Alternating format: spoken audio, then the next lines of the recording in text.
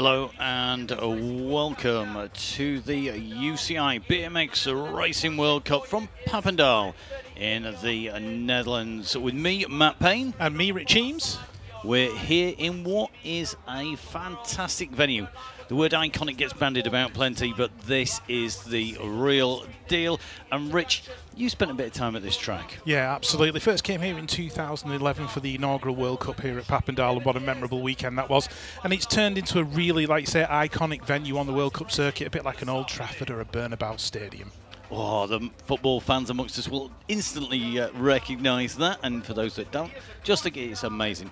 Okay, let's have a little look in the area out and around Papendal. So here in Papendal, we are in Arnhem in the Netherlands. It's home of uh, the Olympic Training Centre and in and around the area. All those archetypal windmills, great scenery, and some amazing museums, including uh, the Airborne Museum commemorating uh, Operation Market Garden. Plenty of retail therapy, and if that's not enough, well, you can relax and enjoy what is some fantastic scenery. But don't forget to just pack your bike shoes. Make sure you've got yourself your dancing shoes, because if you're like Rich, you can dance like your dad in the festival afterwards as well. How very dare you say I'm a dad dancer, Matt. But uh, yes, I actually am. But we're in uh, sunny Papendal. It's 24 degrees, so balmy and warm. Just an 8 kilometre an hour wind, just enough to take the edge off it, and it's beautifully sunny. It is absolutely scorching. And uh, have to say, it is drying out incredibly quick. Now, this is round three of the series, and of course, that means we've had rounds one and two, and the riders scoring points in all of the rounds, and they add up to their points total. So let's take a little look here whilst we are in Papendal at the standings. The women's under 23 headed by uh, Tessa Martinez and uh, currently uh, 110 points clear at the top from Zoe Habka. So a very fast start to the series for uh, Tessa Martinez in that women's under 23 competition. Yeah, moving on to the men under 23, Rico Bearman, by courtesy of those two wins in round one and two, heading out the standings. Hugo Marslek in there in two, Philipp Steiner rounding out the top three, Neusel in four, Cole in five, Nordam in six, Callum Russell of Great Britain in seven, and Marco Radaelli in eight. So those are the men's under 23 rankings. Let's uh, take a, uh, a little uh, look across at our elite standings. The women's elite, well, no surprises, perfect score there for uh, Beth Shriver ahead of Alise Willoughby. Interesting to see that Smulders, Laura Smulders in fourth position. Will it uh, be a day to rank some more points in?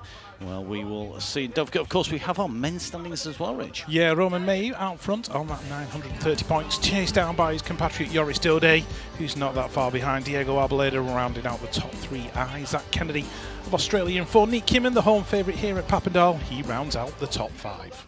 Well, we've said that the weather is absolutely scorching let's have a look at who was scorching the track in rounds one and two. Yeah, rounds one and two out in Sakarya in Turkey, and it was Tessa Martinez in the women under 23 category. She was all smiles on the podium at the end of the day. Uh, we're taking home those two wins, and in the men under 23, it was double trouble, but it was Rico Bearman who was uh, dishing out all the trouble as, amid the podium selfies, and. Uh, Bethany Shriver of Great Britain. She started her World Cup campaign in the perfect fashion taking those uh, two victories and perfect points. So podium selfies definitely becoming a thing as we move on to the elite men category. Arboleda with a really good early start, but it was Romain Mahieu of France who was out there in front and he took that win in round number one. He's already won here as well in Papendal, so he'll be looking to make the most of his experience on this track. But day two, on the inside there, you had Joris Daudet of France, and he led his countryman into the turn, couldn't quite get past him, and it was Joris taking his win and looking real good in the process. So that was rounds one and two, but we're on to round number three. Any shocks so far? Any surprises? Well, there's a couple of uh, people gone out early doors. Quillan Isidore and Paddy Sharrock of Great Britain, Corben Sharrah of the USA. Neither of them, or and none of them, passed the eighth final stage. So, you know, but we're ready for some more hot race action here in a very warm and sunny Papendal. And you can see that even the uh, press and the uh, teams and the crews here all hatted up. Lots of sun cream being applied, and it is absolutely scorching out there for the riders. They're up at the top of that start gate. Rich and I were up there earlier, and it was uh, really interesting to see. Rich, take us uh, through our riders. Yep, there is Tessa Martinez, winner of round one and two of the series here, and uh, she'll be looking to add to her account. And there is Julia Buta of uh, Japan out there in lane number eight. She had third gate pick, but opted for lane eight on the outside.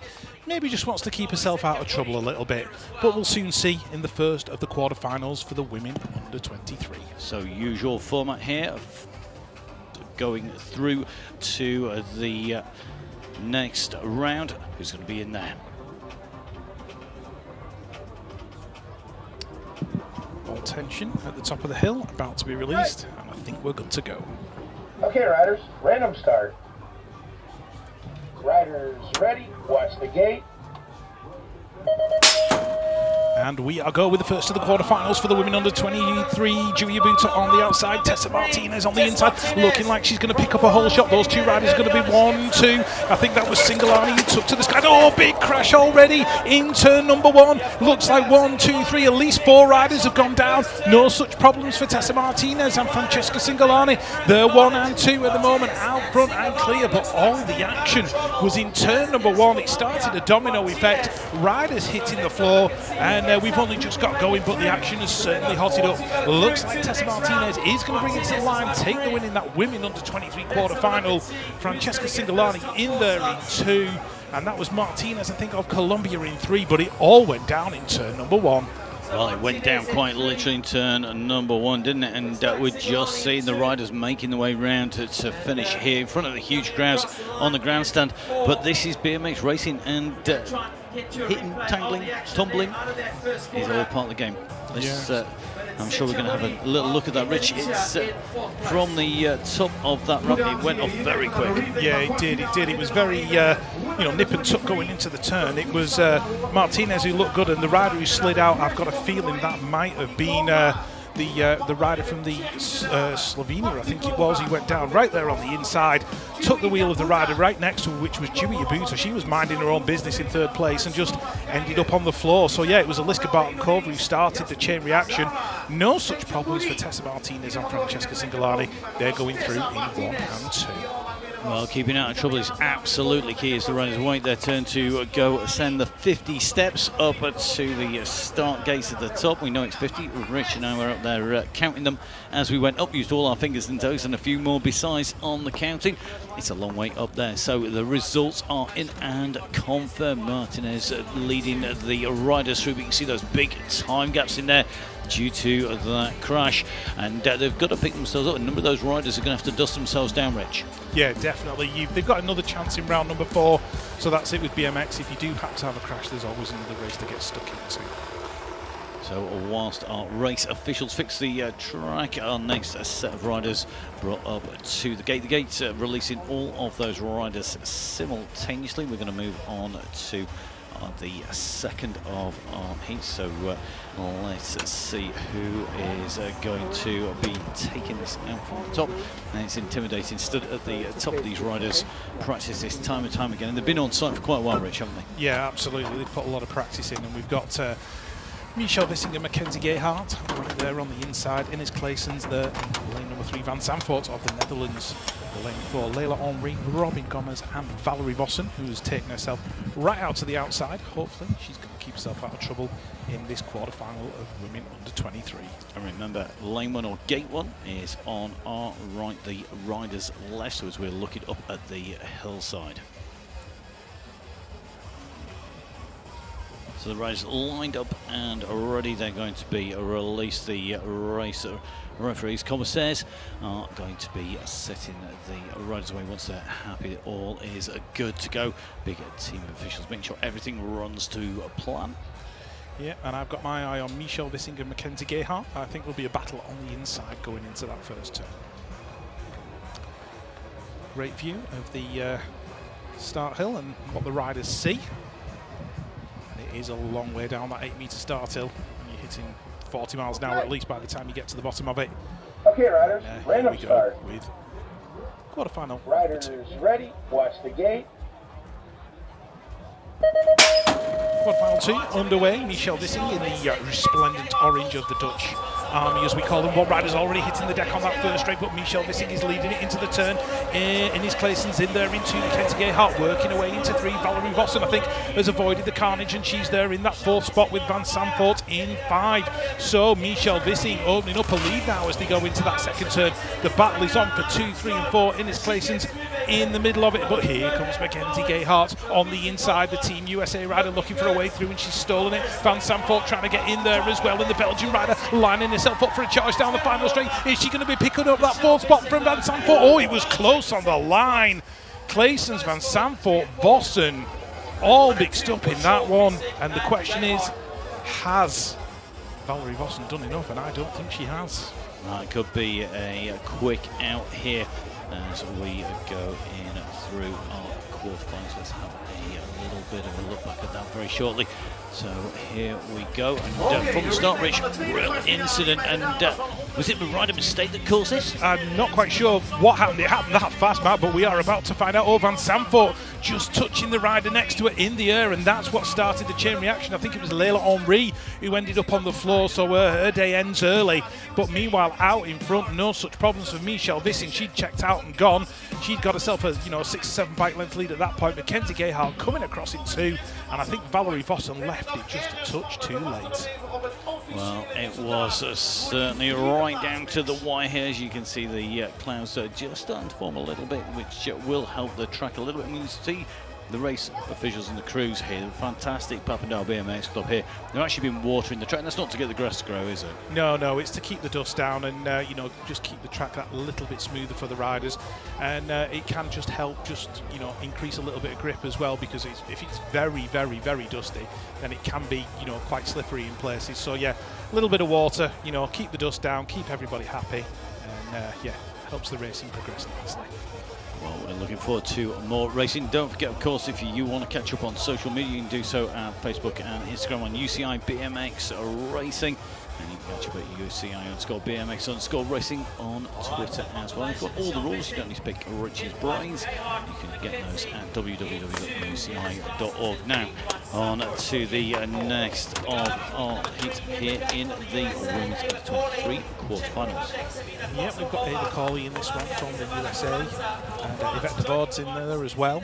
So uh, a real mixture of, uh, of riders. Uh, Sabina Korsakova also in the mix, and Megan Williams of New Zealand. So the uh, riders lined and ready to go. We're keeping our eye on them. Fastest starter here, Rich. Who's you wanting on? Um, I've got a feeling it's going to be Ava Corley of uh, Team USA who's going to show first as they go down that hill, but don't count out Megan Williams from New Zealand out there on the outside. Okay, riders, random start. Riders ready, watch the gate.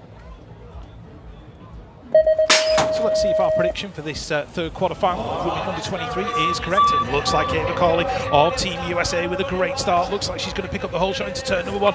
Megan Williams settling into that two spot now. Awesome. He's got the foot out old school style going round the turn. I've got a feeling that was Sabina Korsakova, but it is Corley and Williams battling into that second turn now. Williams is making a move. Corley pushes her up high. The Colombian uh, Carranza Lopez, she's in there in that third position. And Jodie Vimont, I think it is of France, in four, in and out of the final corner. Corley's hanging on to it. Williams looking safe into the Colombian, looking like she's going to pick up the three. Who's going to get that fourth spot as they get to the line? I think it was uh, Jodie Vimont of France who went through. We'll soon find out. Wow, that But was what action in there? Well, that was good, wasn't? But everyone stayed upright for uh, the first one of the uh, quarterfinals. It's not often we you say that, and that is something that seems to be uh, becoming more and more prevalent, isn't it? Uh, that uh, the uh, riders are, are pushing right to the limit, and, and there's a lot at stake here. And the crowds have treated some great action, but there's a lot going on behind the scenes and a lot of pressure on the riders, and that's translated in the racing. Yeah, there's no quarter at all given at this level, Matt, not at all. But Ava Corley of Team USA, Megan Williams, we picked those two out as the riders to watch in this quarter final, and they certainly made it happen. They were battling down that third straight. Ava Corley just getting the nose out in front and uh, leading it into that final turn. And meanwhile, Yvette de Voorde of the Netherlands was working away into that uh, final qualifying position. The Colombian going through as well. That was Carranza Lopez. And uh, all smiles and Yvette de Voorde very happy as she crossed that finish line. So three of our he's done. We have one more to go. So let's get those uh, results so confirmed for you. Corley is leading from uh, Williams de Voorde, and then it's going to be Carranza Lopez immediately behind. You can see they are the riders in and through, very little separated riders. So one more of our under 23 women's uh, quarterfinals to go. The uh, final of these. Remember, four riders going through. That's the all important battle. Get over the line in the front four. Yeah, that's last year's World Cup champion, Veronika Monika Stariska of Latvia.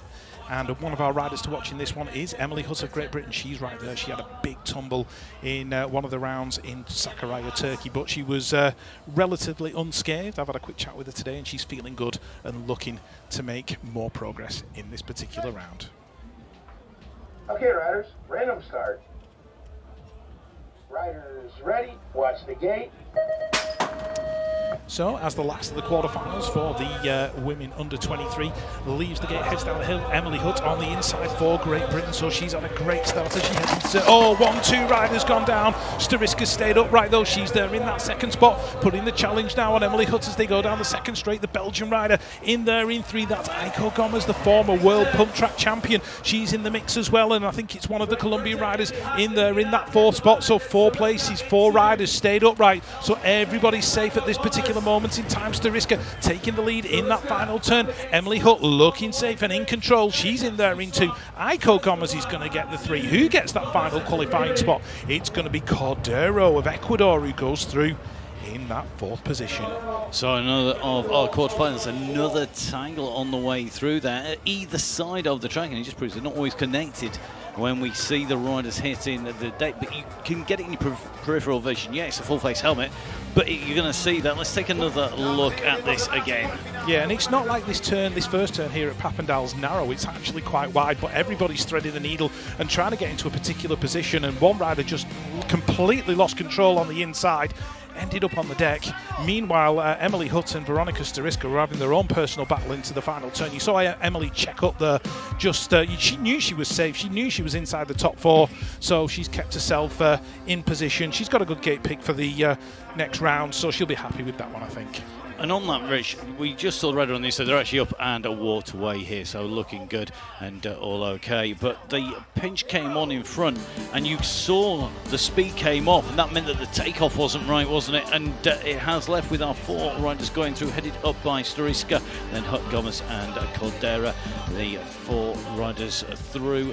So we're going to move very quickly on from our women's under 23 to the men's under 23. This promises to be an absolute cracker as well and uh, you can see our riders lined up and ready to go already. Yeah, and that's one rider to keep an eye on. That's Callum Russell of Great Britain, made the podium in round number two. Sakarya, he's there in gate number four on that 506 plate.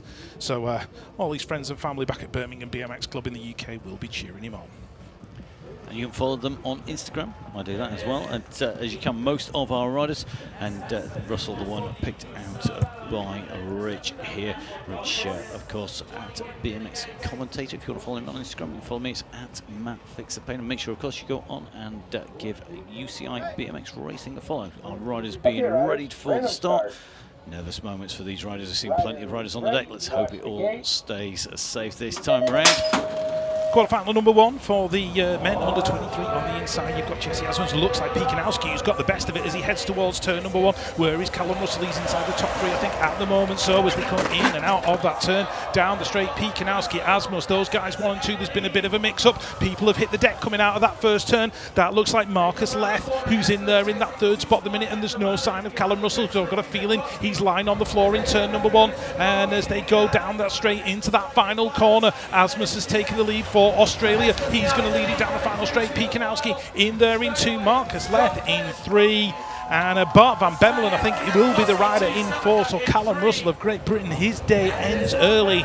No podium for him in round number three of the UCI BMX Racing World Cup. And that first turn seems to be giving people fits, Matt. We didn't see this, did we? We were here in practice when we were watching. It really wasn't just causing this level of problems. And talking to the riders, it was not causing us many issues. We didn't have that marked down as a place where there was going to be problems, and a lot more here than Sakarya. So what's causing this, Rich? Let's, let's look, watch this back. Yeah, it looked like a very, very even start. You know, everybody was going well, but there's a pinch point as they come out of that first turn. Everybody's trying to line themselves up for the ideal line down that second straight, and that's where it funnels in. It gets narrow, and uh, unfortunately, if there's a touch of elbows, it can start a chain reaction and people end up on the floor. Meanwhile, Jesse Asmus of uh, Australia and Alexis Pikanowski of France, no such problems for them. They were going one and two. Marcus Leth in there in three, and Bart van Bemmelen cruising across the line for a fourth place. So our first quarter-final in the Amanda. We're going to move on to the second of our quarter-finals as the clouds start to come over. So just uh, the temperature dropping a little bit here. Not going to affect the riders too much, but they are lined up, ready to go. Really looking forward to seeing who is going to take this out. So the results in for, for the first heat in the quarter-finals in the men's under 23. And uh, Asmus leading them in and uh, through he gets through safely. Remember, only four riders coming through to qualify to move on from the quarterfinals to the semi-finals now. This uh, should be interesting. Hot favourite in here. Absolutely, the winner of round number one and two in Turkey. Rico Bearman of New Zealand, perfect record so far in the World Cup season. He's got Tim Goossens and Casper uh, Piepers right there next to him, so the two Dutchmen will be looking to cut him off down that first straight. Goossens focused and in control, just acknowledges the local crowd and uh, he'll be looking for a good performance in this quarterfinal. So our riders are lined up on the start. They'll be readied and then sent off into action. Hot favourite here, Rich. Who's your pick? Come on. Oh, it's Rico Bearman on the inside for New Zealand for sure, but there's no such thing as a sure thing in BMX racing. He's looking very focused, riding around the paddock at the back, looking very, very much ready for this. So will he be able to make it count? Can he move through smoothly? Let's find out. Riders ready. Watch the gate. Quarterfinal number two for the men under 23, and it looks like Bearman on the inside, but look at the man in the middle. That's Molina of Chile. He came very close to winning the world title in this category in Nantes last year, and he's worked his way into that second spot. So New Zealand in one, Chile in two. There's a big battle for three and four between the two Dutch riders, and as they head into the turn, that's the way it looks now. Bearman uh, shaking down the rest of this uh, lap, but Molina's not far away at all. I've got a feeling that's Tim Goossens in there in that third spot, and uh, there's a bit of action as they go towards the final turn. Casper Piepers still holding on to it, and he's under pressure from Radaelli as they come down towards the line. Looks like Piepers is going to hang on for that fourth spot. Goossens into Molina, waving his arms for some reason as he came across the line, but Rico Bearman picking up exactly where he left off in Sakarya, Turkey, taking the win in quarter-final number two and he was absolutely dominant, wasn't he, in uh, Sakarya? And he's just continuing onwards here. I mean, just said he looked good when he was walking, riding around and walking around uh, backstage in the team area. And that's just confidence, race-winning confidence. It, it, just breeds more confidence, breeds great performance, and that's what we've seen again. Yeah, once you let the genie out of the bottle with a few wins, then that you know that confidence just builds, as you say, Matt. And uh, this certainly showed with Rico on the inside, and Molina came across from about lane five or six and took away that second position. Uh, I've got a feeling it was the not sure which rider it was who crashed coming out of the first turn. Meanwhile, Bearman, Molina, one and two, and the, it was the battle of the Dutchies for three and four at the moment, at that particular moment in time, I should say. Goossens had three, Piepers had four. Radaelli of Italy was trying to work his way in, couldn't quite make it stick, and he's going to have to come back in round four and try all over again. Great racing so far. The crowd absolutely loving it. There's a, a real big music festival next door. And the crowd's coming across from that in to watch the action. Bearman, Goossens, uh, Molina Vergara, followed by Piepers coming through. And Radaelli uh, into fifth place. Not making it, just challenging on the, and uh, the racing coming thick and fast here in Papendal. It is round number three of the UCI BMX Racing World Cup going to move on to our next quarterfinal. This is heat number three in the men's under 23 quarterfinal. Yeah, and there is one rider to keep an eye on, Drew Polk in his eighth final. He made such a move in that final turn. It was a, a last gas dive, and he managed to steal the position and hold on and go through. And his uh, countryman Spencer Cole, he's been riding very well all day today as well, and he'll be looking for a really good result. Well, let's see if we're going to see a, a return of uh, the uh, Polk's uh, two-wheel slide pretty much, wasn't it? As we came around that turn, it was very, very close to coming uh, adrift completely and taking everybody out, but uh, he'll be looking for a clean run now. Riders are being readied up on the gate. Remember, gate one on your right, gate eight out on the left-hand side as we look at it. The opposite for our riders. Okay, riders, random start. So quarterfinal three, Riders ready ready, to go. watch the gate. And let's keep an eye on Drew Polk out there in lane number seven, see what he's got in the turns this time around. But it looks like the man who's going to lead it into turn number one is Matteo Colsone of France, and he picks up the whole shot. He's out there in one. He's got Mathis Jacquet in there as well, his countryman. Oh, one rider's gone off to the left hand side, sorry, the right hand side. I saw uh, one of the uh, inflatable fences flying up in the air, so that usually means that somebody has hit the deck. And as they go in and out of that second turn and down the straight, everybody picking different lines. I think it was Drew Polk who actually hit the deck because I can't see him out on track right now. Colsone still leading it out. He's going to bring it to the line. Colsone is going to take the win. It's a big battle for two, three, and four. Jacquet Skurzpek, Spencer Cole just about going through, and Drew Polk picking himself up at the exit of turn number one. Well, he pushed it right to the limit, didn't he, when we were watching it racing earlier? And it's a fine line. The margins are so tight, aren't they? And you've just got to keep it together. And it was just too much that time. We're looking forward to seeing where that went wrong. Yeah, I've got a feeling he might have just got a, a nudge of an elbow as he came out of the turn, and that probably caused him to just uh, slide out and uh, end up on the floor. But there's always round number four to go at again. So, a disappointing end to the day for Drew Polk of the USA.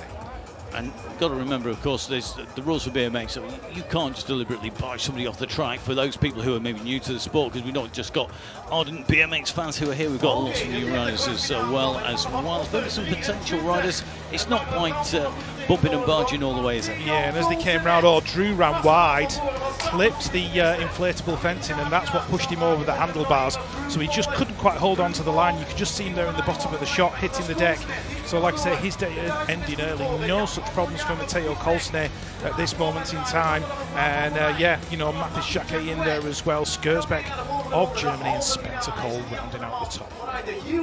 So we have uh, the quarterfinals heat three confirmed in there with Colsone up at the uh, top, Polk right down at the bottom, not finishing his heat here in the men's under 23 quarterfinals. So our under 23s done and dusted. Uh, in terms of Polk's day at the office, one more to go. And uh, uh, he's going to be looking for a good result here today, really to rack some more points up. Yeah, he made the podium in round number two in uh, Sakarya in Turkey. So uh, he's certainly got going one step further today. And another rider to watch is Jason Nordam of the Netherlands. He's there in lane number one. And we know he's been putting in the work uh, with uh, Twan van Gent. So uh, yeah, he's got a good coach behind him. And uh, it'll be interesting to see what he can pull out in this lap. So the riders are ready at the top of the hill. You can see that they're about to be set loose down onto the track in front of the crowd here in Papendal round number three. This is the uh, last of our men's under 23 quarterfinals. Okay, riders, random start. Riders ready, watch the gate. That's the quarterfinals for the men under 23. Julian Bijsterbosch of the Netherlands didn't get the start that he wanted. Oh, looks like two riders have hit the deck on the inside. I've got a feeling one of them was Jason Nordam as well. So his day might be over. And as they head down the second straight, it looks like the rider from New Zealand, Bennett Greenoff, who's out in front at the minute. And uh, the rider going through as well. I've got a feeling it's Pierre Gis from France who's in there in that second position. So New Zealand looking like one and three at the moment. Bijsterbosch, he's in fifth. He wants a fourth. He's on the outside looking in. And as they go in and out of the final turn, it is New Zealand, France, New Zealand, one, two, and three. Looks like that's the way it's going to finish. Who got that fourth spot? I've got a feeling it was Federico Capello of uh, Argentina who's made it into the top four, but we'll wait for the results and see what happens as they cross the line. And another crash. And we've talked about this pressure really coming on to the uh, riders. It's been building during the course of the day. We've seen a lot of racing, and we are seeing more and more incidents, aren't we, uh, today as we move towards those World Championships. Let's take a look at this because it was not another clean run again. No, it was Nordam and Marslek who got together in that first turn. Meanwhile, Bijsterbosch was right there at the back of the pack. He didn't get the start he wanted at all, and they took a connection, and down they both went.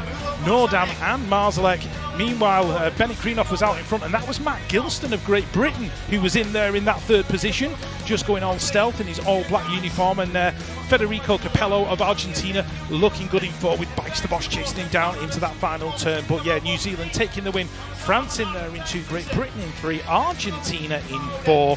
That rounded out the last of the quarterfinals for the men under 23. So the men's under 23 and the women's under 23 done for the moment. We're going to move across uh, to our elite riders next. So we're just moving up from that young age category in to the riders racing in elite category. That is uh, our senior riders. You just uh, see the riders being helped off and, uh, from the track. And they themselves patched together and uh, I'm sure it's not going to be their first time on the deck. I think anybody who rides a bike on two wheels is a bit like you and I, Rich. You've got uh, the scars to prove it all over the place. Absolutely. And there is your official result. Benny Kreenoff taking the win. Pierre Gis of France in two. Matthew Gilston, a great performance for Great Britain in three. And Federico Capello in four.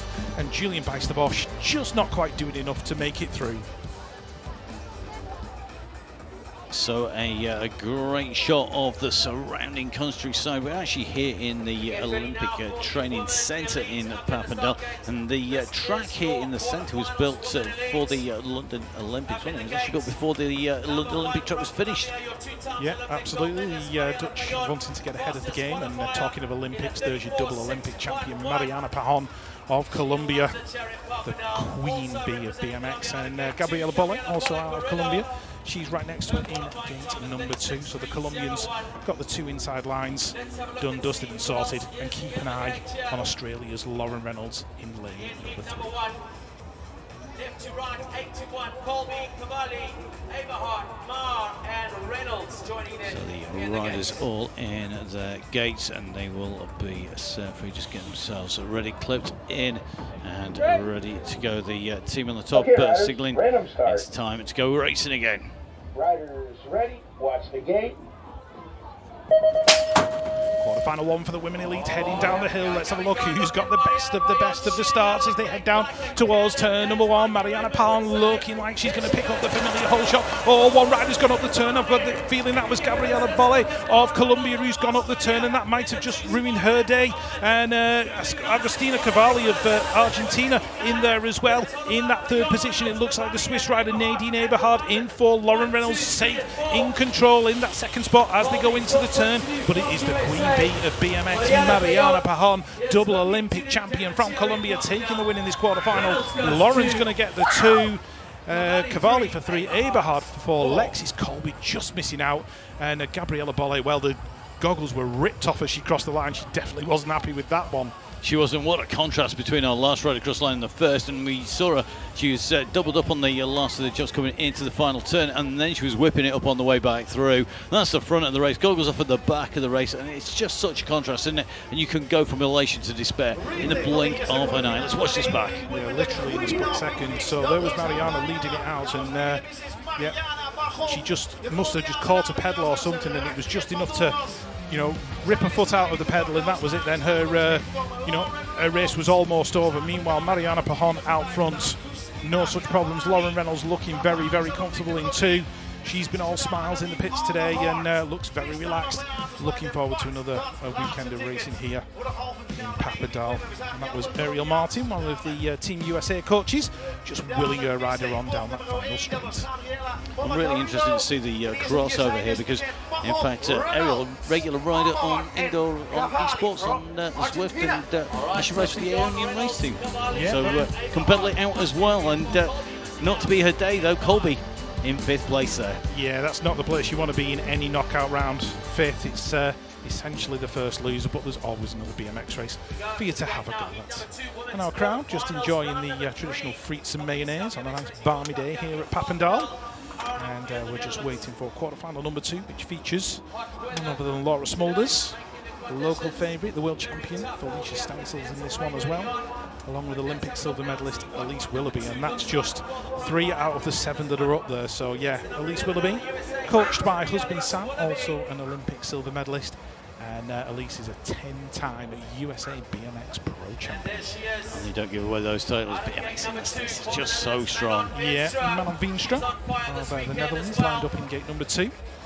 She's always there or thereabouts when finals time comes around. But, uh, all eyes, I think, of the Dutch crowd will be on the 110, which is the rider in gate number one on the right-hand side of the screen. And that is Laura Smulders. on the inside.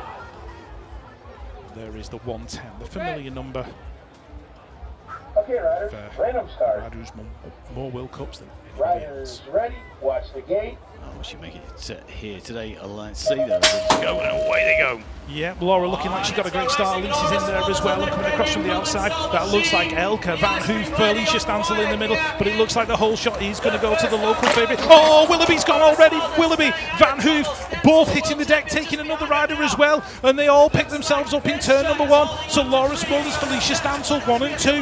Manon Veenstra in there in three. Now there's three riders. There's another spot left, and it looks like the rider in there in four is Kanami Tano out of Japan, but it's Smulders, Stancil, Veenstra, one, two, and three as they come across the line. Laura takes the win. Felicia in there in two. Manon going through in three. Kanami Tano in four, but disaster central for Alise Willoughby in turn number one. Well, they came in there together and then they just went across the track at each other. You saw Stancil as she came up from the uh, finish gantry up the uh, slope that takes the speed off the right, taking a big look over her shoulder to see who was behind her, and there was hardly anybody left. Yeah, because at that point, all you're doing when you're coming around that corner, if you hear a massive clatter of bikes and everything else behind you, you haven't got time to stop and look. You've just got to listen and think, wow, I wonder who that was. And uh, Alise just taking a quick look at her crash helmet and going, well, it saved me. And uh, she can come back and fight another day in round number four. But Laura got a great start. Alise was looking good in the middle, but she seemed to bobble a little bit. Maybe she overjumped that first one. She dived inside. Elke van Hoof came down. Connection, both riders hitting the deck and I think it collected Saya Takayama of Japan at the same time. Meanwhile, Laura Smulders of the Netherlands was leading into the turn, probably wondering what had gone on behind her. She takes the win aboard that brand new Console BMX project bike. Felicia Stancil in two, Matt Veenstra in three, Kanami Tano the top four. So halfway through our women elite here in the quarterfinals, and you also saw outside small Stancil Racer and uh, Tano who go through. You see two of those riders not finishing, but uh, all the riders back up and uh, heading away from the track. Back to the team encampment behind, where they'll get looked after by the soigneurs, by uh, the mechanics, all of the uh, support crew who are here to look after our riders. Uh, great to see the riders uh, chilling. Uh, Mr. Rico Bearman, uh, it looks like they're pretty chilled. Yeah, Jesse Asmus, Asmus, sorry, I should say, um, looking very resplendent in that lovely hat as uh, Elke van Hoof walks away and uh, riders just uh, settling down behind the line, get prepared, and uh, big smiles all around the rider from Team USA as uh, we await the uh, start of the next lap. Colombia, used to the sunny and warm weather, the uh, very muggy conditions that we have here today at Papendal. Indeed, riding really strongly as well, but they're not going to have long to wait before they're able to watch the uh, next of the action. The riders are already at the uh, top of the hill, just waiting for the track uh, to be sorted out and cleared. What uh, you can't really see is the work that's being done by all of the team back behind the scenes, and uh, they're cleaning that track down. They're making sure everything is nice and smooth. That, that any of the damage is done from the crashes is cleared up as well, because obviously that's going to affect the next of the heats, isn't it? Yeah, our uh, track maintenance team have been absolutely on it all through the event here at Papendal, and they've done a superb job. It looks like a, you know, almost a, a bowling green playing surface here, uh, minus the grass, of course. minus the grass, plus uh, several doubles, a big gap jump to go across. Uh, oh yeah, plus uh, a whole load of racing as well. But it's smooth. That was the point I was getting to. and there's your start list: Molly Simpson, Judy Baauw, Merel Smulders, Saya Sakakibara, Delaney Vaughan, and Payton Ridenour of the USA. So the USA well represented in this one. Two Dutch riders, an Australian and. Well, let's see who's going to take it out. The riders up there in the gate and are ready to go by the look of it. In fact, there they are. So uh, takes through the riders uh, and uh, Will Smulders uh, be able to excel. It's her home track, isn't it? Yeah, Merel Smulders, uh, sister of Laura. You know, they, they train together, they ride together, and uh, they've won medals together. So, uh, yeah, looking for a big performance from Merel this weekend.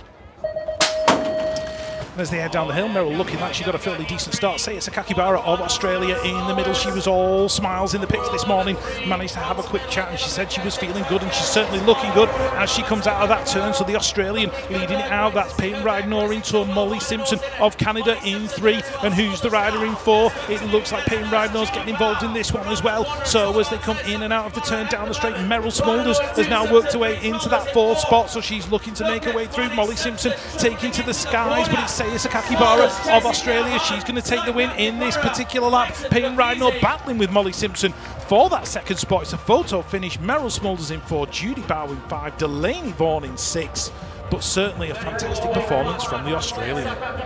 And Rich, for those people who maybe not regulars watching, when we get a photo finish, it's just to separate those positions and make sure we get it the right way around. Yes, absolutely, and uh, obviously there's timing and scoring to, uh, to you know just to double check it and make sure we get every single um, scoring correct. So a great deal of infrastructure in here to check on those riders coming in and through, and uh, really key. Let's watch that back. Yeah, Molly Simpson right there on the inside doing it for Canada, and she had Delaney Vaughan next to her.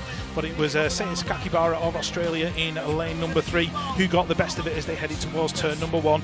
And certainly uh, coming across from the outside, Payton Ridenour doing a great job. Merel, Merel Smulders just working away into that top four. And uh, yeah, there's certain, you can see the tension in the faces of the coaches at the side of the track. But Saya taking that win. She had a couple of bike lengths to play with at the end of it all. Merel Smulders rounding out the top four. And each of our riders here are backed up by a big team as well. And they are involved and invested in this as well, aren't they? And they're going to be watching the results, watching to see if their rider goes through. Uh, so you can see our four qualifiers up on your screen. Two riders, well, if their day done, they'll have to compete in our next round. That's going to be round number four. But on to the next of our heats. And really here, there's one rider we should be focused on, isn't there? Yeah, it's the uh, red plate, the leader of the series. The 911, it's Bethany Shriver of Great Britain. She's out there in lane number six. But when you've got riders Okay, like Zoe right on Carson's on start. the inside in uh, lane number one, it's not going to be very easy to win this lap. So the two Swiss riders, Claessens and Aeberhard, were against number one and two, and it is the former European champion and the current European champion battling into that first corner. Zoe's got the best of the exchange. bets in there in two at the moment, and the rider in three looks like Maylene Kelstrup, I think it is, of the Denmark. Yep, she's in that third position, so she's looking good right now. And out there in four, I've got a feeling it's Leah Brindonk of France. So uh, it is Zoe Claessens, Beth Shriver, one and two into the turn, looking safe and in control. Kelstrup now making a move for that second spot down the final straight. Who's going to get the fourth? Is Brindon going to hang on to it, or is Aeberhard going to steal it from her? Claessens, Kelstrup, Shriver, Brindon going through one, two, three, and four. Talia Burford in the mix as well. So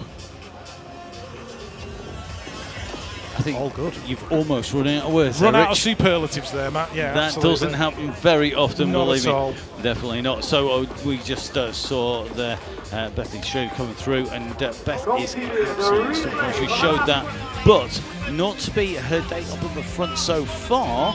But that doesn't matter at this stage, does it? No, she only needs to be inside the top four, and she knows just to put solid, solid laps in. In BMX, you only need to win one lap, and it's the last one. Well, So- with those words of wisdom from Rachel, let's have a look at the uh, confirmed results. Lessons uh, taking top spot there with Burford and uh, Steve O'Connell coming out of the competition. So our riders who qualify will move on through to our semi-finals. Quarterfinal number one for the many leads contains the fastest lap so far, Leo Garoyan France. He's done 34.543 and he is in this quarterfinal, but I'm sure that lap time will come down as we go through the day. Later, Marquardt, Kennedy in there as well, Romain Mahieu, Jeremy Smith, Dick Vanderberg, and Magnus Dyer. Well, some really big names in here for riders we expect to be featured in the final. And it's quite a stacked field here in this particular heat, isn't it? Yeah, absolutely. I mean, you've got World Cup winners, you've got the reigning world champion in this one, you've got one of the uh, top guys in the USA BMX Pro Series, so this one is stacked. See those rainbow bands outside the jersey. Away we go.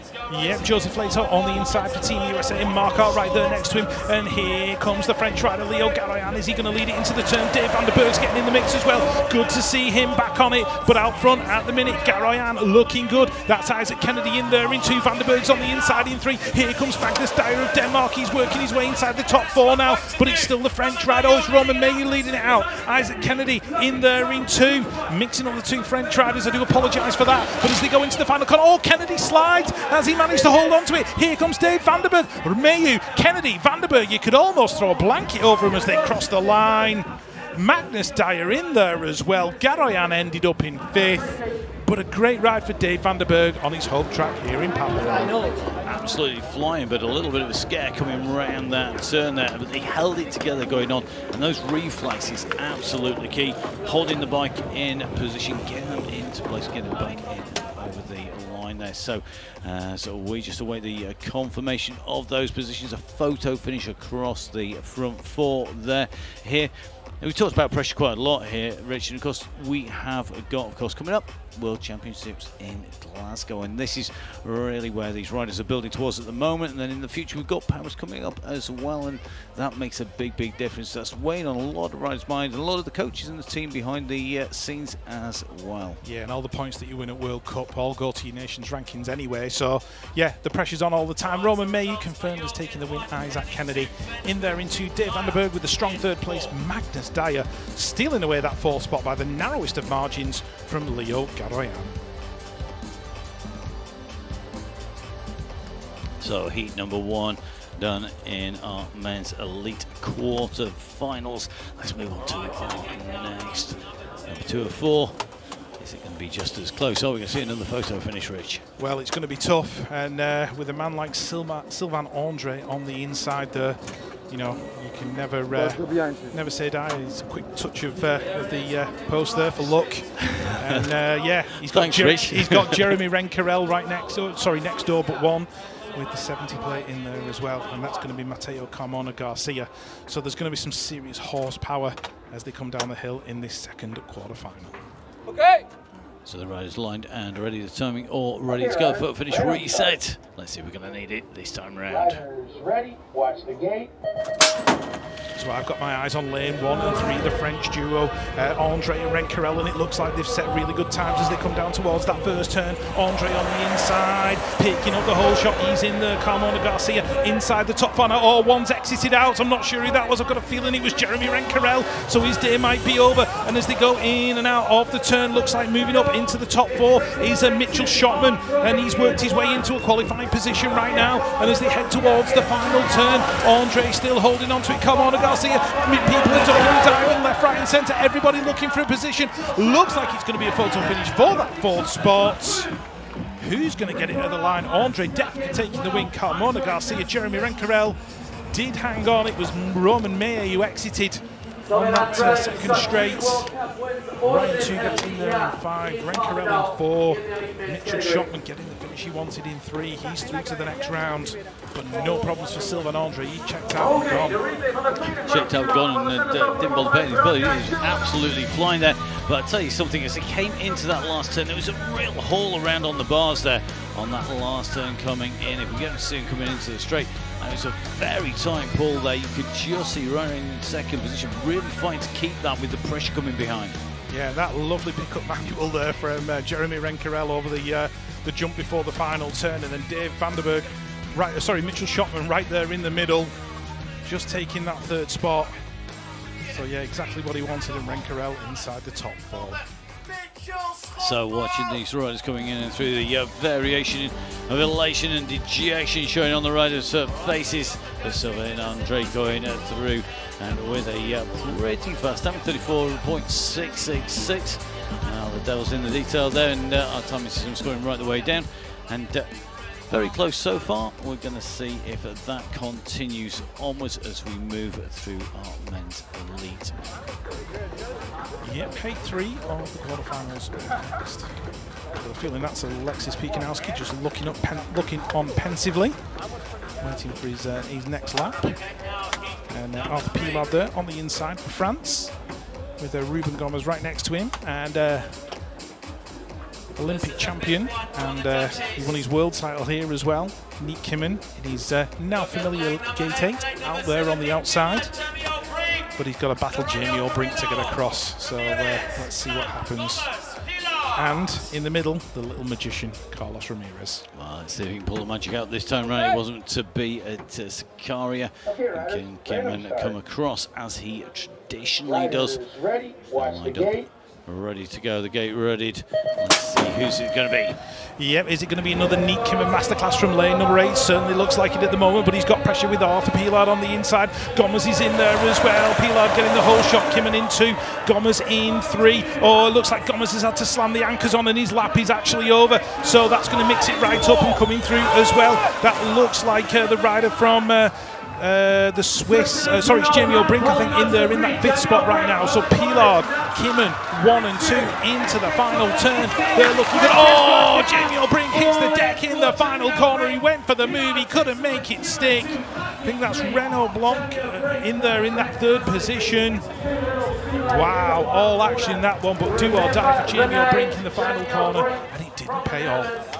Well, he sat down looking pretty dejected at the moment. He wasn't the first of the uh, riders uh, to come out of that race, was he? And uh, whilst Colombia have come uh, through and they're uh, looking at each other and going, yep, we've got a rider in. Not to be for everybody, and uh, it looks like everybody back up and uh, going to be rolling the way in through. And you know what? Whilst all that was going on, Carlos Ramirez, a little bit of magic, worked his way into the top four. That makes you happy, doesn't it, Rich? Hey?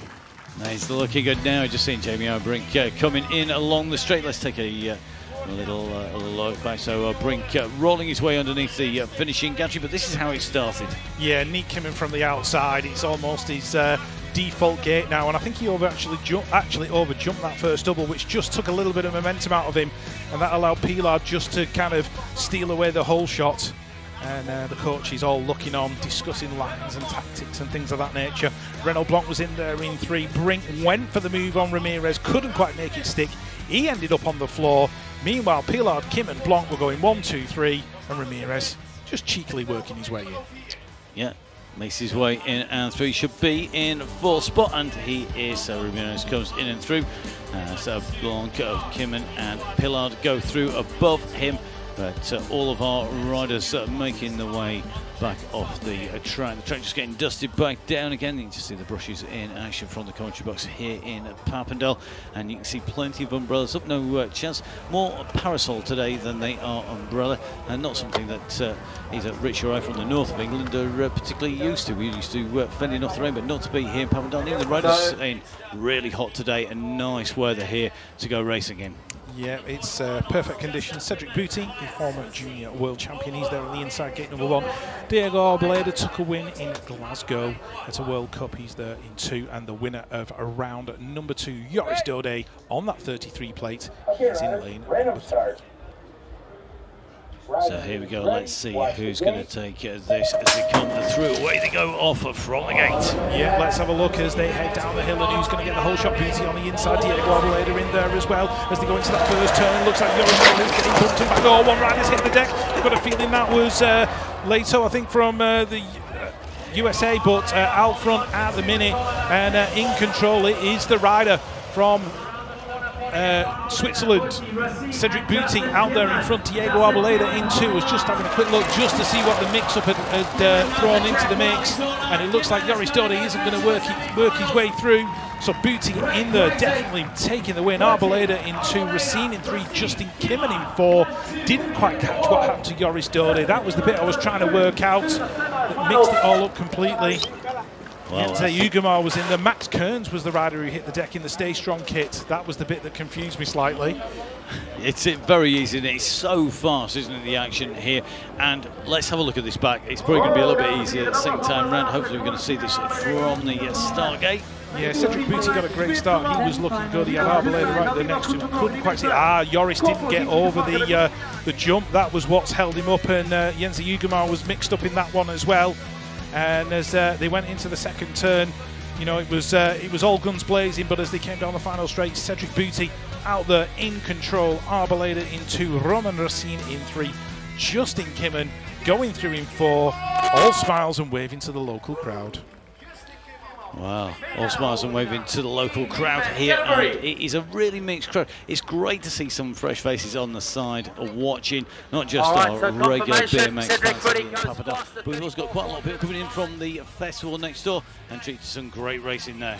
Yeah, absolutely. It's, it's always nice to introduce newcomers to the sport of BMX racing because people don't realise how rad this sport is until they actually sit down and watch it. Oh, and uh, gotta say, make sure you get to the side of the track, wherever your local track is. There's some great racing to watch at all levels, from grassroots right the way through to the World Cups and the World Championships, which this year's going to be in Glasgow. Yep. So, semi-final number one for the uh, women under 23. Tessa Martinez, Michelle Vissing. There is Tessa Martinez. We've got Megan Williams in this one, Yvette Devord, Isabella Carranza Lopez, Ines start. Dominica Moreira, and uh, Setu from. Indonesia. Okay, underway. Here we go. Four riders going through, four riders going out. Michelle Vissing and Tessa Martinez got a great start. Oh, one, two riders gone down now. Yvette Devord was one of them, and I think it was the Indonesian rider who's hit the deck as well. And as they come out of the turn, Vissing holding on to it. Martinez in there in two. Looks like the Colombian rider going through in three, and that is Ines Claessens rounding out the top four right now. Megan Williams in five. She's got a little bit of work to do if she wants to work her way into another World Cup main. And as they go down towards the final corner, Vissing is in control. Tessa Martinez looking comfortable in two. Megan Williams has now worked her way up into that final qualifying spot, stealing it away from Ines Claessens. Vissing crosses the line. She takes the win. Martinez, Lopez, and Williams. That's your one, two, three, and four in that first semi final. But it was all action as they went down that first straight. Well, it's another incident uh, packed race, race coming thick and fast. And is there a point at which the race can be voided and uh, that they would then rerun it? Have you seen that happen? It would have to be like, you know what, like I think something like all eight riders or something hitting the deck before they even get to the first turn. There is a, a ruling on it, but I just can't quite pull it out the back of my mind right this very split second. the massive rule, but Yeah. does it, it does exist. It there. does exist. So you can see our four riders who are going through, Vissing Martinez, uh, Carranza Lopez uh, going in and through as well. And the riders uh, currently at the moment getting ready for the uh, second of our semi-finals. You can see them up on the top of the hill here. So uh, you can see uh, that we've got Emily Hutt uh, third from the left. You've got uh, Martinez and Gayhart as well, who's going to take this out. Remember, the uh, fastest gate, the one they all want, is gate number one. That's the one on our right-hand side. It's the shortest line into the corner, and if you can use it to your advantage, you've got that fast start. Okay, It should give you prime position, but it's not always the case, and it's definitely very, very today with all of the incidents out on track. Yes, so second semi-final underway. Veronica Stariska in this one, Ava Corley in the mix as well, and uh, Ryder's already getting shuffled back. That looks like uh, Emily Hutt in there as well as they go into that first turn. Emily Hutt in a qualifying position right now. Cingolani going through in four, and um, uh, Veronica Stariska getting stuck in the middle of this one. She's right there out in front. Looks like Ava Corley in that second spot. Emily Hutt in three, and the Belgian rider working her way into four is Aiko Gommers, the former world pump track champion, and uh, Cingolani's in there in five. So Cingolani needs to go from five to four if she's going to make it. She's gone for the move underneath Gommers and she's stolen it away. So Stariska is going to get the win. It's going to go Stariska, Corley, Hutt, and Cingolani. I think worked her way into the top four as well. Aiko Gommers, I think, just got passed down that final straight after making a superb move in the final turn. Oh, we're seeing all action, aren't we, on those turns, certainly turns one and to the last turn coming in is really sorting these riders out as they're coming through. You can just see the riders, but with a lot of the uh, team crew are watching on great views from all around the track. You get really up close to the action. You're seeing, if you're watching the side, as we've seen on screen, Stariska heading up at the uh, top four there. Stariska Corley Hutt along with uh, Cingolani going in through from the semi-finals into our finals. Well, the uh, sun continues to shine here in Papendal. Remember, this is round number three as we move across and uh, we move from the uh, women across and uh, you can see right can all ready to go. We're going thick and fast today trying to uh, keep on track our semi-finals. Well, they are going to be interesting uh, to see who can go through. Four riders going through to the finals, remember. The other four, well, they've got a race again when we move on to our next round. Yeah, so you've got Rico Bearman, Team Goossens, uh, Spencer Cole, Matthew Gilston, Bart Van Bemmelen, uh, Maurizio Molina, Pierre Gis, and uh, Mathis Jacquet from France, all lining up in the first of the semi-finals for the men under 23, and all eyes will be on the 500 plate of Rico Bearman. Riders ready. Can Watch he the do it again? He's going to have to, uh, if he wants to move through. I think his pressure on his shoulders. Away they go. Yeah, Bearman looking like he got a really good start. Goossens right in there next to him. Matthew Gilson just working his way into a position now where he can try and make some moves. But Bearman gets the hole shot. It's Bearman. Goossens one and two. Molina in there in three. One rider exits to the right hand side. Didn't quite catch you. That was Matthew Jacquet in there as well. And Spencer Cole's in that final qual- final qualifying spot right now. Being chased down by Var Van, Var Van Bemmelen. So Cole in that fourth position trying to make a move on Molina in three. Coming to the final turn. It is Bearman Goossens. One and two. Oh, Cole's under pressure now from Van Bemmelen as they come to the line. Molina for the three. Van Bemmelen stealing away the four from Spencer Cole right at the final second. And he timed that move to perfection.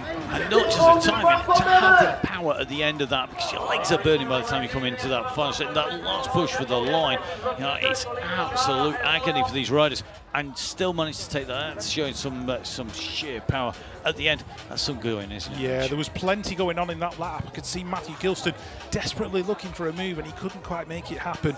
But Rico Bierman is the man in control in the men under 23 and there is your result. Bierman, Goossens, Molina, Van Bemmelen, literally right at the last split second from Spencer Cole. And Spencer's going to have to go away and work out what he's going to do in round number four of the UCI BMX Racing World Cup. So you can see uh, Burtman going through, uh, four riders uh, through, four riders going for an early shower, maybe going uh, and uh, working out what they're going to do because they won't be heading off to the uh, festival right next door to us here in Papendal in, on- in the Netherlands now. Here we go. Next Who's up, your pick? Yeah, Come we've on, got Rich. Matteo Colsenet right there on the inside, but I would keep my eye on uh, Alexis Pikanowski of France. He's there in gate number four on that 511 plate, and he's got the skills to make stuff happen. Random start. So the riders lined, ready to go. The gate Watch the gate. approach. Away it goes. Yep, heading downhill, Jesse Asmus of uh, Australia not getting the start that he wanted, but it is Pikanowski, the man we mentioned just before the gate drops. He's leading it out, and uh, the uh, Dutch rider Casper Piepers is in there as well, going through into. And uh, as they head towards that second turn, the French rider just having a quick look behind just to see who's there. I've got a feeling that was a Matteo Colsenet in that third spot, and he's holding on to it. But the pressure is coming now on Colsenet. They've got a, a big queue of riders behind him trying to work their way around. It's going to be all action in the final corner. Jesse Asmus of uh, Australia is going to work his way into the top four. What a move in the final turn from the Australian. Asmus going through, courtesy of a great last turn move. It is really, really different, isn't it, here at Papendal? It's an iconic trike. It's a word that's been used all weekend long. I'll tell you something, it's really living up to reputation. And is it more technical than we saw in rounds one and two? Um, I think it is here, and it's just a mixture of speed and technicality as well. Like Colsenet was right there in that third spot as they went through the second turn, and uh, as he came to the line, he was pushing, pushing, pushing. Piepers, Colsenet making it in, but the Australian, what a move in that final corner! Absolutely superb. So here we go, the confirmed results are with Piepers going uh, through. Heading up uh, the riders make the way through from our men's under 23 semi-finals. Are going to be heading in to our finals. So the women's and men's uh, semi-finals are done and dusted in the under 23 competition, which means that we are going to move our way through. This should be very interesting indeed. Two Smulders lined up on the line.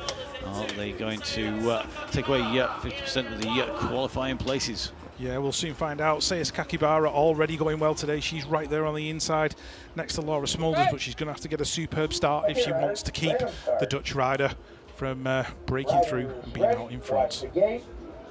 So let's have a look now. Semi-final number one of the Women Elite heading down the hill. Saya Sakakibara going well into the first turn. Is she going to pick up the hole shot? Yes, she is. Molly Simpson right there next to her. Laura Smulders working away. Oh, Lauren Reynolds, I think, has hit the deck. The Australian's gone down in a heap in turn number one. Payton Ridenour in there as well. And it's Simpson in three. Who's going to get the four? Merel Smulders of the Netherlands working away into a top four position. But look at the rider from Australia, Saya Sakakibara, out in front and in control. I've got a feeling she's going to be right up there in the final later on. And uh, here she comes down the straight. She's going to take the win. Laura Smulders is going to get the two. Molly Simpson in three. Merel Smulders in four. Lauren Reynolds wondering what of might, might have been as she ended up on the deck, I think, with Payton Ridenour in turn number one. Well, this track definitely sorting the riders out, not just by the fastest race times, but also just by the ability to finish without an incident.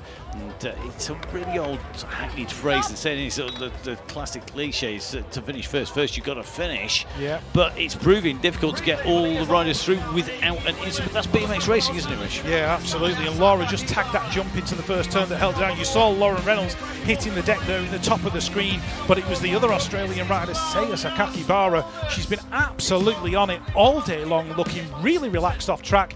Maybe she knows something that the rest of the class don't know about. But uh, yeah, Laura in there into Molly Simpson, consistent as ever. She's in there in three, and Merel Smulders will be delighted to be joining her sister in the final of round three of the UCI BMX Racing World Cup. I think uh, delighted is definitely going to be the word. I mean, the pair of them, they've been absolutely splendid. You can see their influence here. You can see that Laura Smulders going through with Merel Smulders in second and fourth place, respectively. Sandwiched in between was Molly Simpson in third, but heading them up was Sakakibara of Australia. So they're the four riders that will go through to our finals.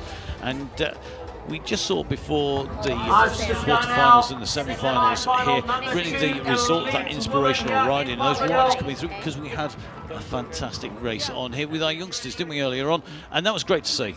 Yeah, Papendal Challenge Cup was uh, absolutely superb, giving our younger riders a taste of what it could be like at the World Cup level.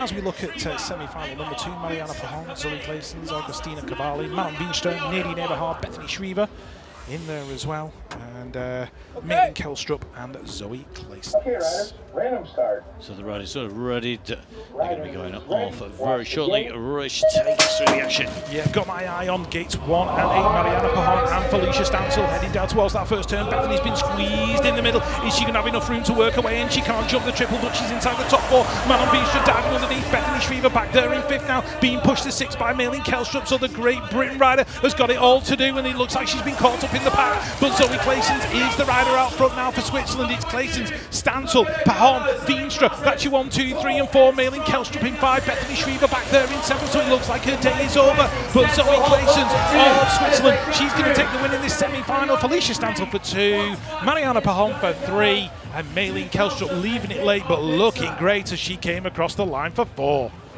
She's going to be really pleased with that. You could just see that rider there by Claessens. Absolute masterclass. Really kept out of trouble. But that start, so many riders coming into that. For somebody who's maybe new to the sport, as you come down that ramp, you're hitting, what, 40 mile an hour in a couple of seconds. Yeah. Really, really quick. You've got to be able to get clear and get out of trouble. And then once that squeeze comes off, somebody's going to lose out. And this time, All right, around, so there's your you can see that was uh, Bethany Shriver who's going to go through eighth places. She's not going to make it through to our finals. No, but she'll go back and she'll discuss it with uh, Coach Marcus Bloomfield, and they'll come up with a plan for round four. And I'm sure they'll be back on it. So let's have a see what happened. I think Bethany just tagged that jump, didn't quite get the momentum that she needed, and uh, got squeezed by Zoe Claessens, Felicia Stancil coming across from the outside, and uh, Manon Veenstra diving underneath. And once you're back outside the top four, it's tough in anybody's book, but certainly in the semi-finals of an Elite World Cup, well, it's going to be tough stuff for anybody to deal with. And uh, Bethany Shriver of Great Britain's going to have to come back fight another day, but the riders who don't include Malin Kejlstrup of Denmark. She took that fourth position, and she's in the World Cup final. And the times are pretty quick on, and we're talking sub 35 second here, Rich, on this track. Really flying around here, and that's a fast old time. Yeah, it is very much so, and uh, they'll just get faster as the day progresses. And uh, I'm expecting big things from these riders in the final, and I think that time will come tumbling down yet again. So you just see the riders just with the uh, long seat pin there. We've seen them riding around. Just uh, for anybody who's not been to the venue, the riders take the seat pin out, putting a longer seat pin, and that's to basically change the position on the bike. Yeah, just to uh, spin those legs, get the lactic acid out of there, and just aid in the recovery. And then put the normal seat pin, normal seat in for when they're up on the gate and ready for uh, the race. Absolutely. So we move on to uh, men elite lining up semi-final number one. Arthur Pilard of France, Dave van der Burg of the Netherlands, Sylvain Andre also of France, Izaac Kennedy of Australia. France have got Ro- Re- Romain Racine, Mitchell Schotman and Justin Kimmann and Niek Kimmann, the Netherlands trio on the outside. Oh, will it be uh, home joy on the stands here today and round at that final turn? Uh, the crowd are looking on. We're watching. Let's see what happens. Okay, semi-final number one underway for the men elite. Niek Kimmann from the outside, and if his brother Justin joins him in the final, I think the roof would come off this stadium if we actually had one. But the rider leading it out right now looks like uh, the French rider, I think it is, going through, and it's going to be Romain Racine. No, sorry, Arthur Pilard in there in one, Sylvain Andre in two, uh, Niek in three. So it is French domination in this semi-final. Pilard looking good. He's in control right now. Sylvain Andre following him down to the corner. In and out they go. Kimmann looking good. The Orbu's been made in the final corner, and one rider goes over the top of the turn. It is Pilard, Kimmanns, uh, Andre, one, two, and three. And I've got a feeling Dave van der Burg was in the mix with Mitchell Schotman there. And it was Justin Kimmann who went over the final turn. Let's hope he's okay. Izaac Kennedy rolling across the line as well. He's going to have to come back for round number four. But it got all mixed up there. And the question is, has Dave van der Burg got back into a World Cup main? We'll soon uh, find out. So you can just see. Uh, I think that's more disappointment than uh, pain as he comes back onto the bike. He was uh, nearly in touch, but then over the uh, top and uh, the pads doing the business. But he's waving to the crowd here, getting a lot of applause, and great to see. Made of tough stuff, our riders. Yeah, absolutely. And uh, Pilard was out in front. Kimmann looking good in that third spot. Sylvain Andre right in the mix as well. Oh, Liam Phillips there. Totally caught up in the moment. As they came into the final corner, that's when Justin went over the turn, and that allowed, I think it was Dave van der Burg to dive back underneath. And uh, you just see Justin Kimmann exiting in the background. So it was Pilard, Kimmann, Andre who got that final qualifying spot. We'll have to wait for the official results. Well, the uh, results on the way in, and Liam Phillips, a real legend of the uh, sport, a man who, uh, for the uh, keen fans, will need no introduction. But look at the split on those times between van der Burg and Schotman there. 776 and 779 fractions of a, a second separating these riders. It was tight. I'm not surprised you couldn't spot that, Rich. Yeah.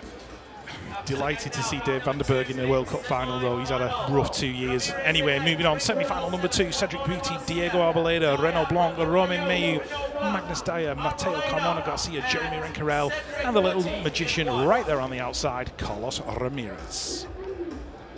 So our riders lined and ready. Will it uh, be magic today for Ramirez? There you go. Cliche number 99, I think. Ready? Here we go. Riders ready to go. Have a look down the hill, and it looked like the French rider got a really good one from gate number seven, but it's Romain Mahieu who's going to lead him into that first turn. Arboleda in there as well. Where is Cedric Butti? He's outside the top four at the moment, I think, but out front looking good. The winner of round number one and hit the podium as well in round number two. It is Romain Mahieu of France. He took a win here just 12 months ago, so he knows how to win on this track. Mahieu, Arboleda, one and two, and it's France three, Colombia four, so it's all France and South America in this one, but the man who's going to take it to the line, Romain Mahieu of France, taking it to the stripe, Arboleda in two, Jeremy Rencurel in three, and Ramirez right in the mix yet again. Well, that's gone to a photo of finish. I think from position two down to five. I saw there flick across our screen. I'm not surprised that came in very, very close indeed. With a big charge down the side, if you carry the momentum off the berm, if you've got that height, you've got the speed, you're carrying the momentum through, you can take so much speed through, but you've got to have clear track. Yeah, sometimes you've got the ability to go high and dive down, but every time you do that, you just run the risk of somebody like Carlos Ramirez diving underneath you and stealing that position away. So, yeah, it's uh, you know you've got a lot of decisions to make in a very very short space of time. But one man who didn't have to make decisions was Romain Mahieu because he was just busy taking the win. As Vincent Pelluard looked on, and uh, there he went across the line, and it was a case of who got that fourth spot. Rencurel knew he was safe in three. Well, I think if uh, Rich had any fingernails left after Christian's BMX time and time again, he'd be uh, biting them at the moment see who is going to make it through. Here they come. Here are the results. And uh, there we go. Uh, the man who sneaked in was uh, Ramirez uh, in fourth place. I think we've got uh, a happy Rich that his predictions are coming uh, true, that uh, he, we're seeing the technique. And that's all part BMX. It's part of getting it right. It's getting that technique right. It's not just about pure power. It's not just about pure speed. And you've got to also play the tactics that suit you. And we've seen different riders. I mean, we've got some really big riders here. We've got some smaller riders with a lower centre of gravity. We've got people who are good on the turns and just straight pure power out from the start, Rich. And does this track favour anyone in particular, do you think? Do you know what? I think you've just got to be flat out fast. It's as simple as that, you know. Don't overanalyze if, it. If you've got some serious track skills and you can make it work in the turns, definitely. But this track here at Papendal is all about speed. Well, it's not going to be long before we're on with our finals, and uh, we are going to be uh, kicking them off with our under 23.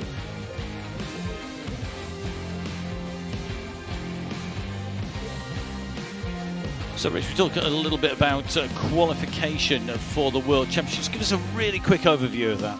Yeah, it's all about you know nations rankings, and uh, you've got to uh, really rack up those points for your nation. And uh, yeah, it goes all the way through the year, and uh, you're winning those uh, points, and uh, it basically gives you a quota of how many riders that you can actually take to the World Championship. So the top ranked countries can take up to five, and then lower down the order, it goes down as low as two. And then if you're outside of the top 23, then you just take one rider. And some riders, the top eight, are actually pre-qualified as well. So a nation like France could take one pre-qualified and five selected riders as well. So they can take as many as six. But key point is all these World Cups, Euro Cups, all that kind of stuff. Get nation ranking points. That is what you need to get those quarter places for your country. But that doesn't mean if you've raced, you're necessarily guaranteed one of those slots, are you? No, you've got to be picked by your country, so you've got your uh, your own federation to kind of deal with as well, and you've got to be good enough to be picked, and they've got to think that you're medal worthy, and hopefully that will be enough to get you to the World Championships. And for some nations, I guess that's going to be easier to get picked than others. So if you're in a nation like, uh, I know we've mentioned a lot of times, France, got lots of riders. They've got lots of slots, but still not enough. Whereas other countries maybe would struggle to fill their slots. Yeah, absolutely. I mean, France, the Netherlands, they've just got you know an embarrassment of riches when it comes to BMX racing, and they've got you know they could field a half a dozen really good riders on any given day. You could mix them up all the time. But uh, yeah, there's other nations where you know they're just going to be sending everybody that they've got and just taking advantage of those places. And this is all about getting qualified for the World Championships. Yeah. Initially, that's Glasgow, but in the distance further away, you've got qualification for Paris, which is much the same thing. Yeah, much the same thing. And you know, you've got all of the 2023 season and 2024 up to the end of June. I think it is there or thereabouts to rack up those uh, qualifying spots, all those qualifying points for the Olympics in Paris. And everybody's going to be looking forward to that. Well, we're looking forward to our riders making it to the top of the steps. This is part of uh, the uh, Dell. It's, it's, no lift at the back. There's no ramp up to the top of this. I mean, my local BMX track um, out in Chesterfield, I, I, can ride to the top of it. It's nice. It's really nice roll up, but it's nowhere near as big as this. You and I were on the top of this and walking up and down. It, it's absolutely huge. And the TV, like anything, doesn't do justice to that and to the uh, jumps on the track and the steepness of the face as you come into them. A lot of people used riding a mountain bike or maybe going down to the local park, but this is a really tough track, isn't it? And those jumps launch you. If you hit them hard, you're going to go a long way. Yeah, absolutely. And like you said, the top of that eight meter starter, you look over the top and it's literally like a roller coaster. Like you're dropping off the top, you hit 40 miles an hour within about two seconds. And uh, yeah, it's just, you know, hang on, keep going, and uh, hopefully get across the line as we move on to the uh, under 23 women. And the final, the riders just getting themselves set and ready, and the track maintenance crew doing their thing with the hose pipes, keeping this track in absolute tip-top condition. And I have to say, Matt, they've done such a wonderful job today. Well, we expected great things from Papendal. We've already had that. I think uh, I don't want to uh, curse it, but if it keeps going like this, we're going to see some great actions coming through our finals. And of course, we've got our next round from Papendal coming up as well. But uh, great racing already. Yeah, some great racing, but not without its action as uh, those two riders found out and Tessa Martinez had no such problems as she rolled across the line. I think that was in the quarterfinal. Michelle Vissing was looking good as well. And as uh, they went into the corner, the Ava Corley was uh, in the mix. And uh, we can't forget uh, any of these riders. They've done such a good job. Emily Hutt was right up there as well. She's made her, her way into the final here at women under 23 level today. So she'll be looking for a big result. And uh, yeah, all action all the time. And that was Emily Hutt just leaving the gate there. There she is on the inside. And she was battling with uh, Veronica Stariska at that point. One rider about to exit left, one about to exit right. Meanwhile, Emily just checking up, knowing that she was safe there behind Veronica. As we moved on to the men under 23, Callum Russell of Great Britain in the middle, trying his best to work his way through, but that one didn't work out. Jesse Asmus of uh, Australia, resplendent on that pink bike. That's how we pick him out. Maurizio Molina of Chile, there in that second spot, chasing down Rico Bierman. Those two guys will be battling in the main event a little bit later. All right, ladies and gentlemen, let's get ready for the final As we, four uh, return to races the action. of the afternoon. The sun parasols definitely doing their job for our uh, crowd within the stand. And there is the start list for the women under 23 final.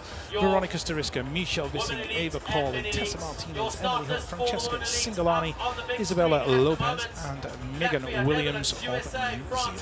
And if you had to pick one rider for whom this would be the result so far of their career to get into the final, is there anyone here that you would think is this is this is really important for them now to do it right this stage in their career? Yeah, I think there's two riders who were on the verge of making a breakthrough. Uh, Ava Corley of Team USA and Emily Hutt of Great Britain.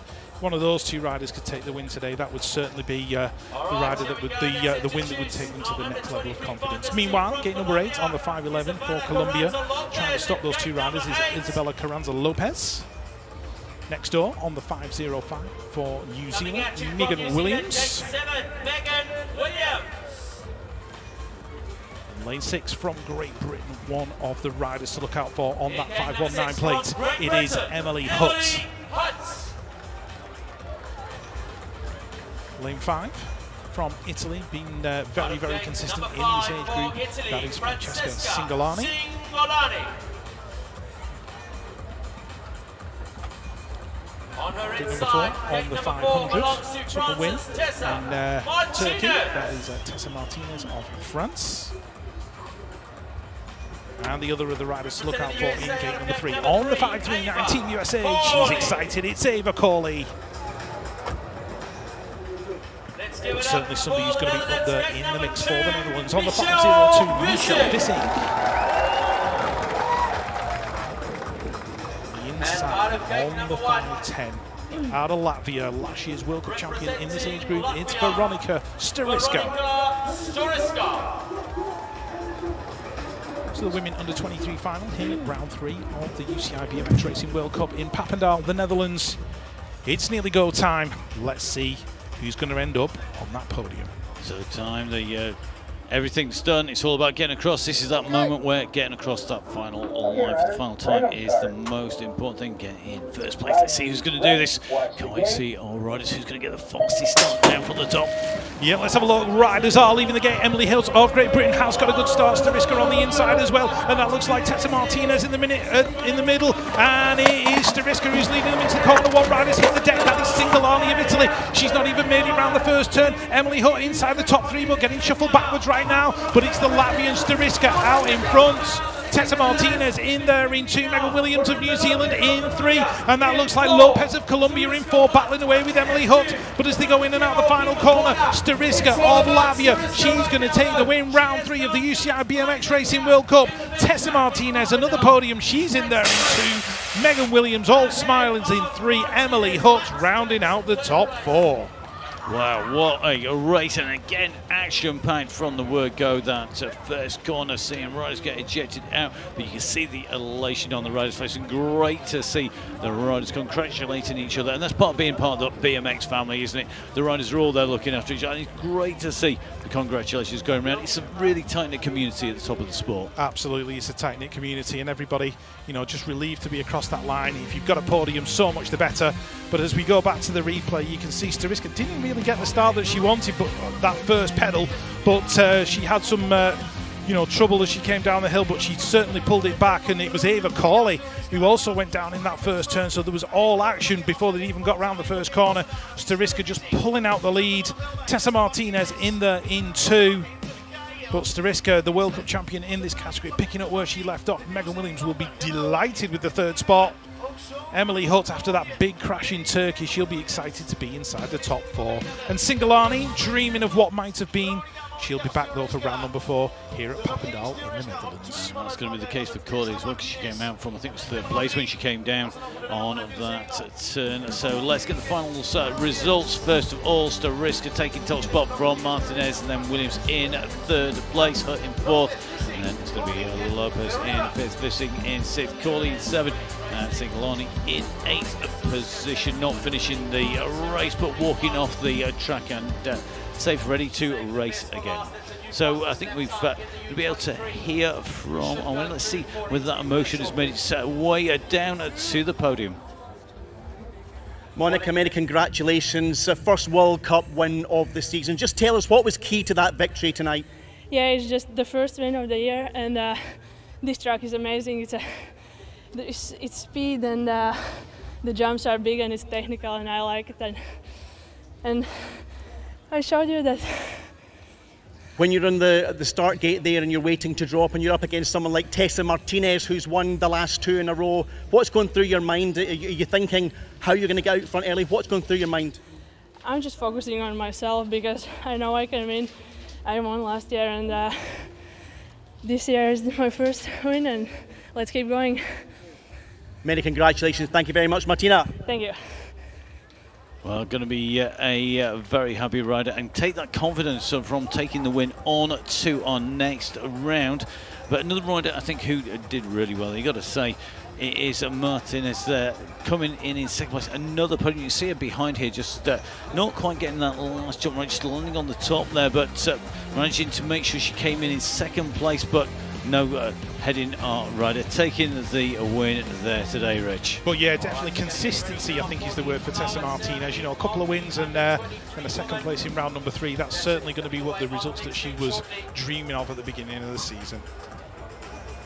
So the uh, crowd just uh, taking in the sunshine as the uh, festival gets into full swing behind the grandstand and the riders are already. So let's get our riders up and uh, let's uh, see those three riders that made it on to our podium receive right, their let's get ready flowers. now for the flower ceremony here. Women under 23, round three of the UCI BMX Racing World Cup in Papendal in the Netherlands. In third place from New Zealand, Megan Williams. So Megan Williams uh, making her way up into that third place In spot. second And place uh, you from France, receiving the uh, customary flowers of the New Zealand rider in third.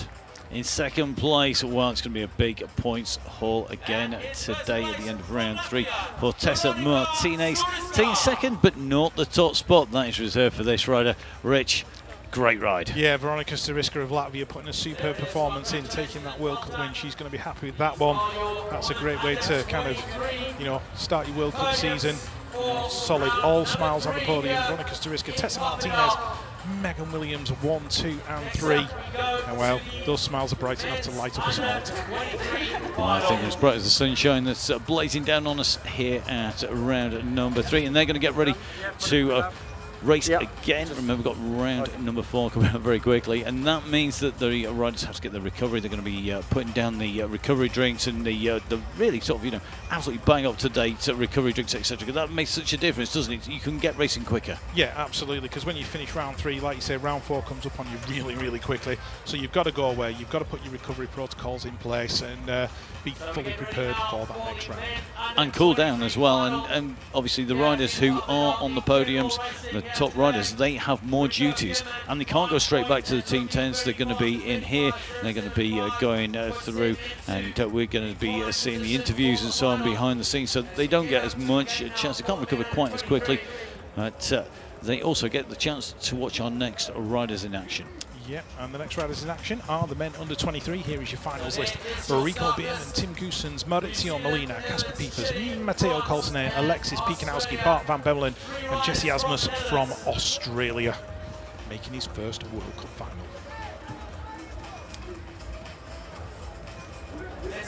There he is on the 529, lining up in gate number 8 for the Netherlands. Left it late in the semi-final, but he's where he needs to be now. That is Bart Van Bemmelen.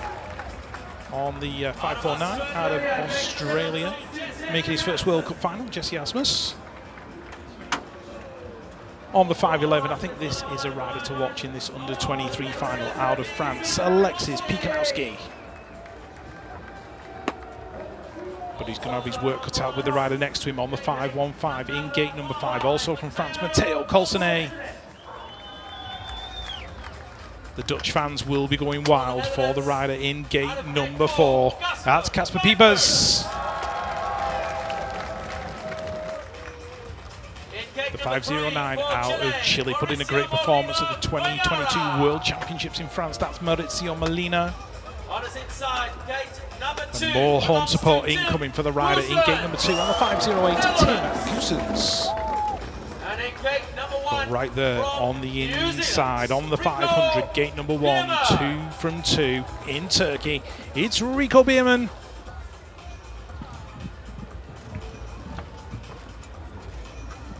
So the tension builds, the riders are ready. Time to go racing. Time to see who's going to take away top spot. It's all about this last run down from this start gate. Will they beat Bierman today? Yep, I've got my eye on Bierman and also on Pikanowski. Riders ready. Watch the gate. So we'll Rico and make it three from three? We are about to find out, and it looks like it's going well for him so far as he heads towards turn number one to pick up the hole shot. Rico Bierman from New Zealand. Matteo Colsenet in there in two. Tim Goossens in three. Jesse Asmus of Australia oh, always been shoved out to the outside, and his lap is over. But Bierman making a mistake now and allowing Colsenet right up next to him. Colsenet going around the outside. Now diving underneath is Colsenet and Bierman down the straight. Bierman just getting himself back into control. Here comes Tim Goossens for that third spot. Is he going to be able to make a move in the final corner? Casper Piepers in four, but Bierman looking to make it three for three. Colsenet with a late charge. He got it on the line. Oh, Colsenet by 0.192. He left it so, so late, but he timed it absolutely perfectly. How did he do that? What a turn around there. I, he was pressured coming in uh, to the penultimate turn. You saw it coming diving down. He went high, he went low. He was looking for a way round. And eventually, it was only in that final straight. I, that presence of mind to be able to take that. But what is Bierman going to think? I mean, he must have lost that in the last 10 centimetres of the track. Yeah, absolutely. It came right down to the very, very end. I was preparing to say Rico Bierman makes it three for three. And then Matteo Colsenet went, no, we're not having any of that. That one's going to be mine. But yeah, having a quick look, I mean, Rico Bierman got an absolutely superb start. But uh, I think he tagged this particular jump, yep, just got it and just lost that little bit of momentum, which allowed Colsenet to try and work his way around. Bierman uh, went underneath and Colsenet dived in again. And he still had two bike lengths, I think, at this point as they came into the final corner. And Colsenet just lined it up, sneaked up behind him, got to the line, and just nicked it away, literally with inches to spare. Well, that's how we've called it. I'm just getting a call over the uh, radio saying it may have gone to a photo finish and it may uh, be a reverse, so we need to wait for these results. We knew it was close. I mean, it was absolutely too close to call there. Rich, you got it as calls today coming in over the line. The timing said, but it's gone back by the sounds of it to a photo finish, and it could well be that it's been overturned. I don't think they know who's got it yet. They're No, both sat down there. do. Well, we'll leave it to uh, you know our race connoisseurs to sort it out. Matteo Colsenet is looking decidedly confused at the moment. Rico Bierman's just waiting for the results. And here they come in and out the final turn. I'd be really interested to see how close this was. Tim Goossens was looking good in three. Casper Piepers in four. Molina in five. Here we go as they got to the stripe. Stretching for the line. Oh, Spearman, Oh. surely. I think Bierman did Oh. actually get it, but I we'll think wait he for hit the, the, line. Yeah, he hit the line first, but he wasn't the fastest, was he? You could see. Oh, I might change my mind now. Yeah, well, coming in at, at higher speed, wasn't he? Yeah, I just went for the time that was in front of me on the screen. So, uh, but you know, that's the reason we've got uh, photo finishes, timing and scoring. We've got to get these things right. It's far too important to get it wrong. So we will wait for the official result. And the uh, cameras they use, it's not the same as you're watching as we're watching on our screens. And it's a much better view, bang on the line, unlike our view out of the commentary box. Now, it looks like they're leaning, uh, lining up, but Nico Bierman, here, here we go. Is this where they can get it confirmed? Yeah, Yep, looks there like goes the it. handshake. Well, I never. There you go. It's been overturned. The uh, electronic time has been overturned by the photo finish, and that camera. I mean, it splits it right down. I mean, you can see tyre width on there, can't you? And look at that. It's actually come through with it reversed. And not only has it been reversed, it's been substantially reversed there. Yeah, I've got a feeling that gap might be about 0.192. So, uh, yeah, Rico Bierman taking it. Matteo Colsenet, he's got second. But let's many see what Tate has to congratulations. say. That was really tight. Just talk us through it. And I got out really good and got coming down the second straight. I made a few mistakes and uh, Colsenet caught up right at the finish and I thought he got it, but back to the photo finish and got it done. Is it fair to say it perhaps wasn't your best one of the day because you've been on top form all season?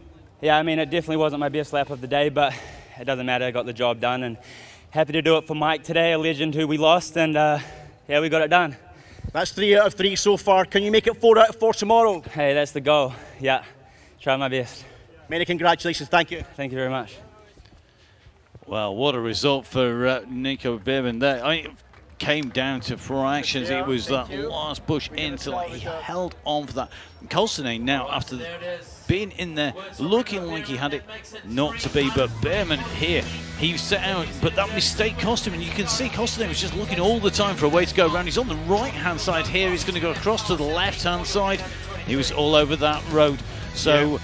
let's have a uh, look at our riders. They're going to be lined up, and uh, let's have a look at Colsenet's uh, reactions as he's uh, down. He's going to be getting his uh, flowers down on the podium. Tim Goossens just uh, taking the third place flowers, In second And, uh, place from France, making a podium, just trying to get his breath back.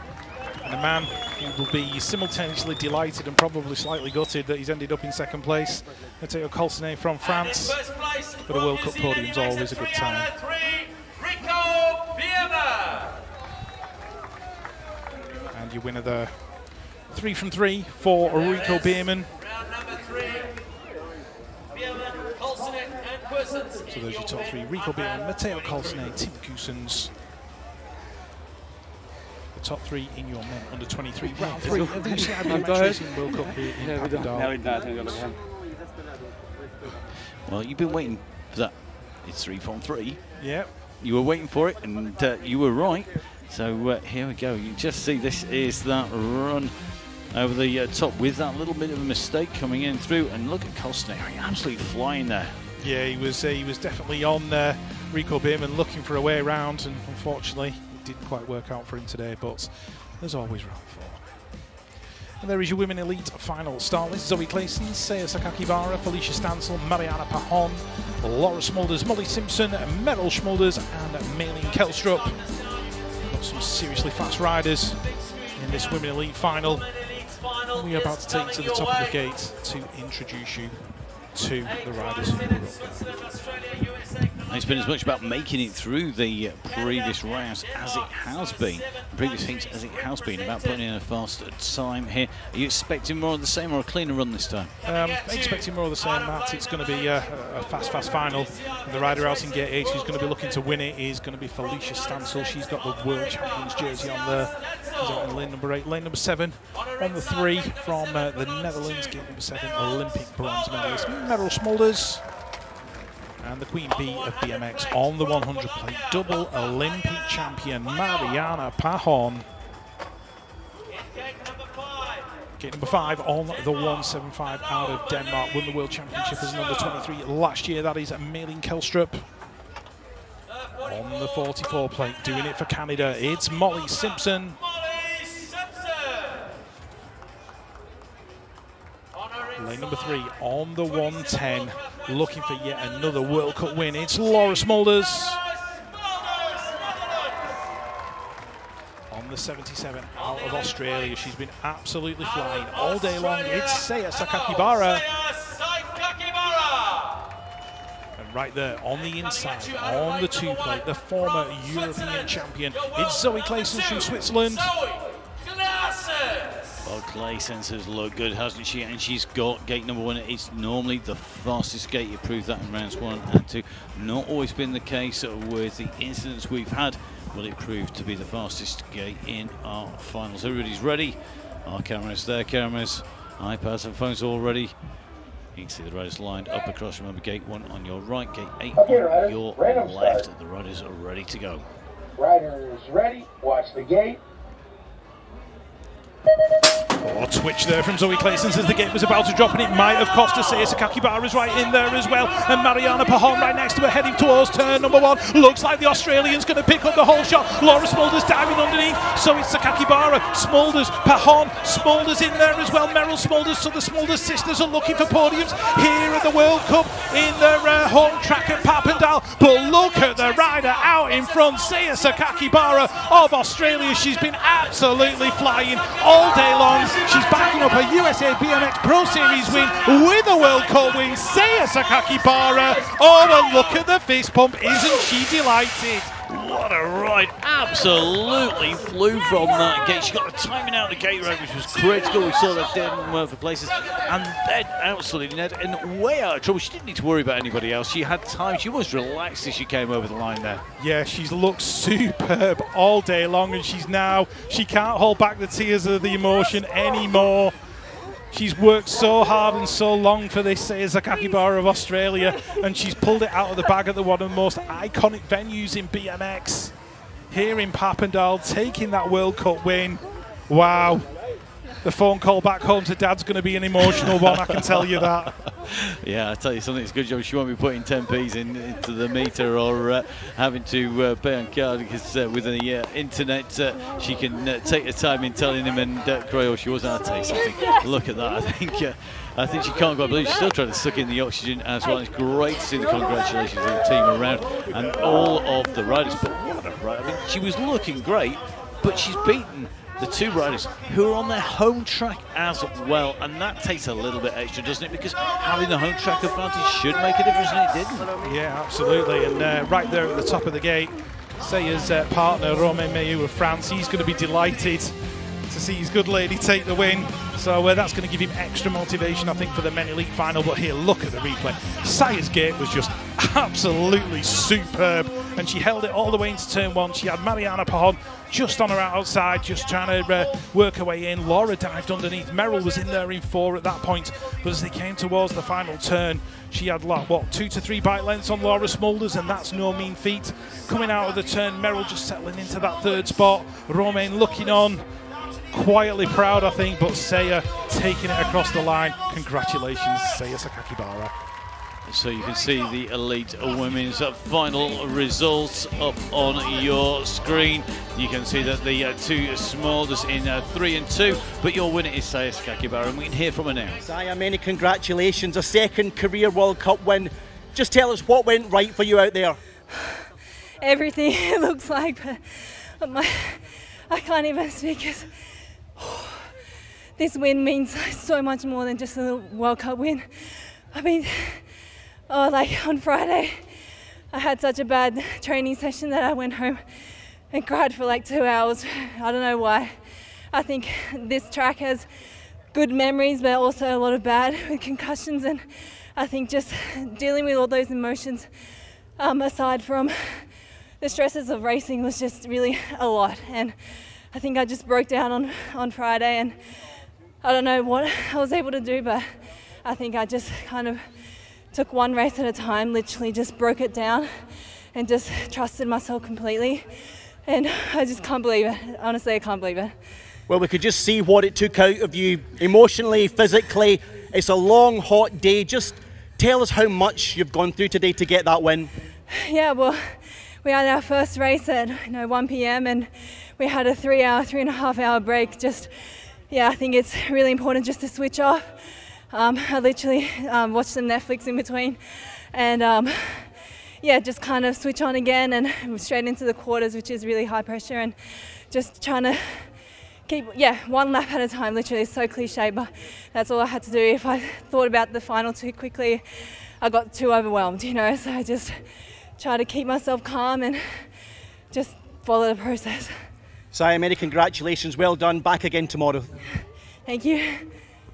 Well, what a head game she was playing. I mean, the highs and lows on the way uh, through. And to be able to pull out a ride like this after basically going back to the hotel room and breaking down and to pull that outcome round, That must be a serious Netflix box set that she was watching on the way through. There must be something motivational. Yeah, whatever she's watching, I'm going to watch it as well because that was a super performance from Saya Sakakibara. But sometimes, you know, the dawn doesn't come until after the dark and the storm, and that's certainly what's happened. Like said, she's gone through a lot with the concussions and everything else, and it's just brilliant to see her get back up there and win a World Cup. And it's all that his back history that's come in. And there's also the emotion. You know, you're not just in front of uh, the crowds, but you can see you're in front of uh, the rest of the riders as well. So let's see our three riders make their way up to the podium. All smiles on home turf here. Uh, two sisters either side. Uh, So I think uh, it is uh, going to be uh, our third place up with the flowers. First of all, Smulders sisters. Yeah, Meryl Smulders taking that uh, third position, and uh, Laura taking the second spot. And uh, the great thing about the uh, Women Elite, they're all smiles no matter what, and uh, everybody's happy up there. But certainly the rider happier than any other today. Saya Sakakibara, winner of round three of the UCI BMX Racing World Cup here in Papendal. And it's going to take a while, I think, for her to stop smiling after that.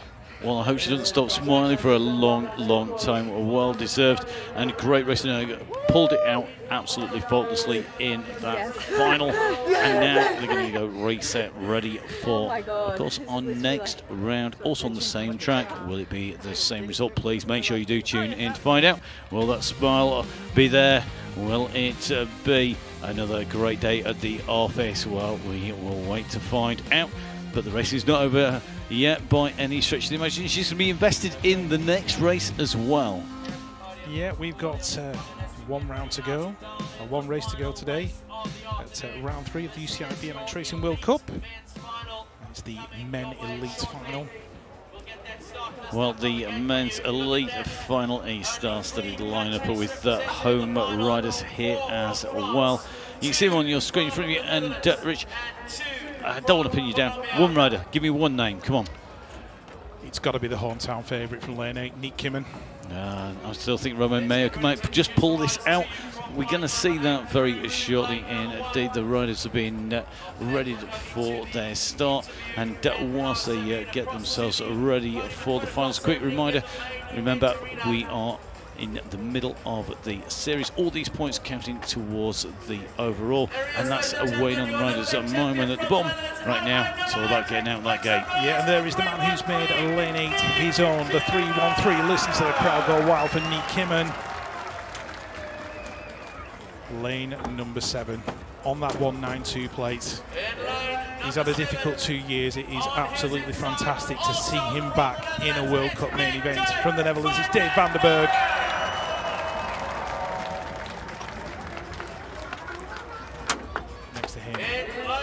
On the five plate, gate number six, 2019 World Champion Sylvain Andre.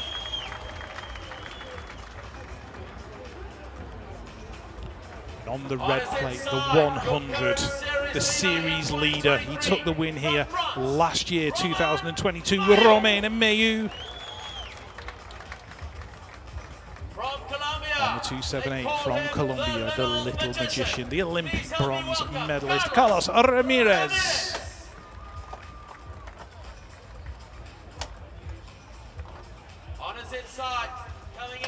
The rider who took a win in Glasgow in the World Cup in 2022 on that 219 plate. Gate number three, Jeremy Rencurel.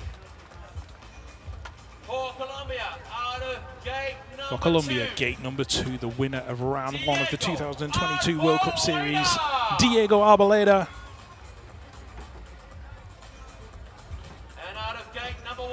One. Number one on the inside, on the 130, Arthur Pilard.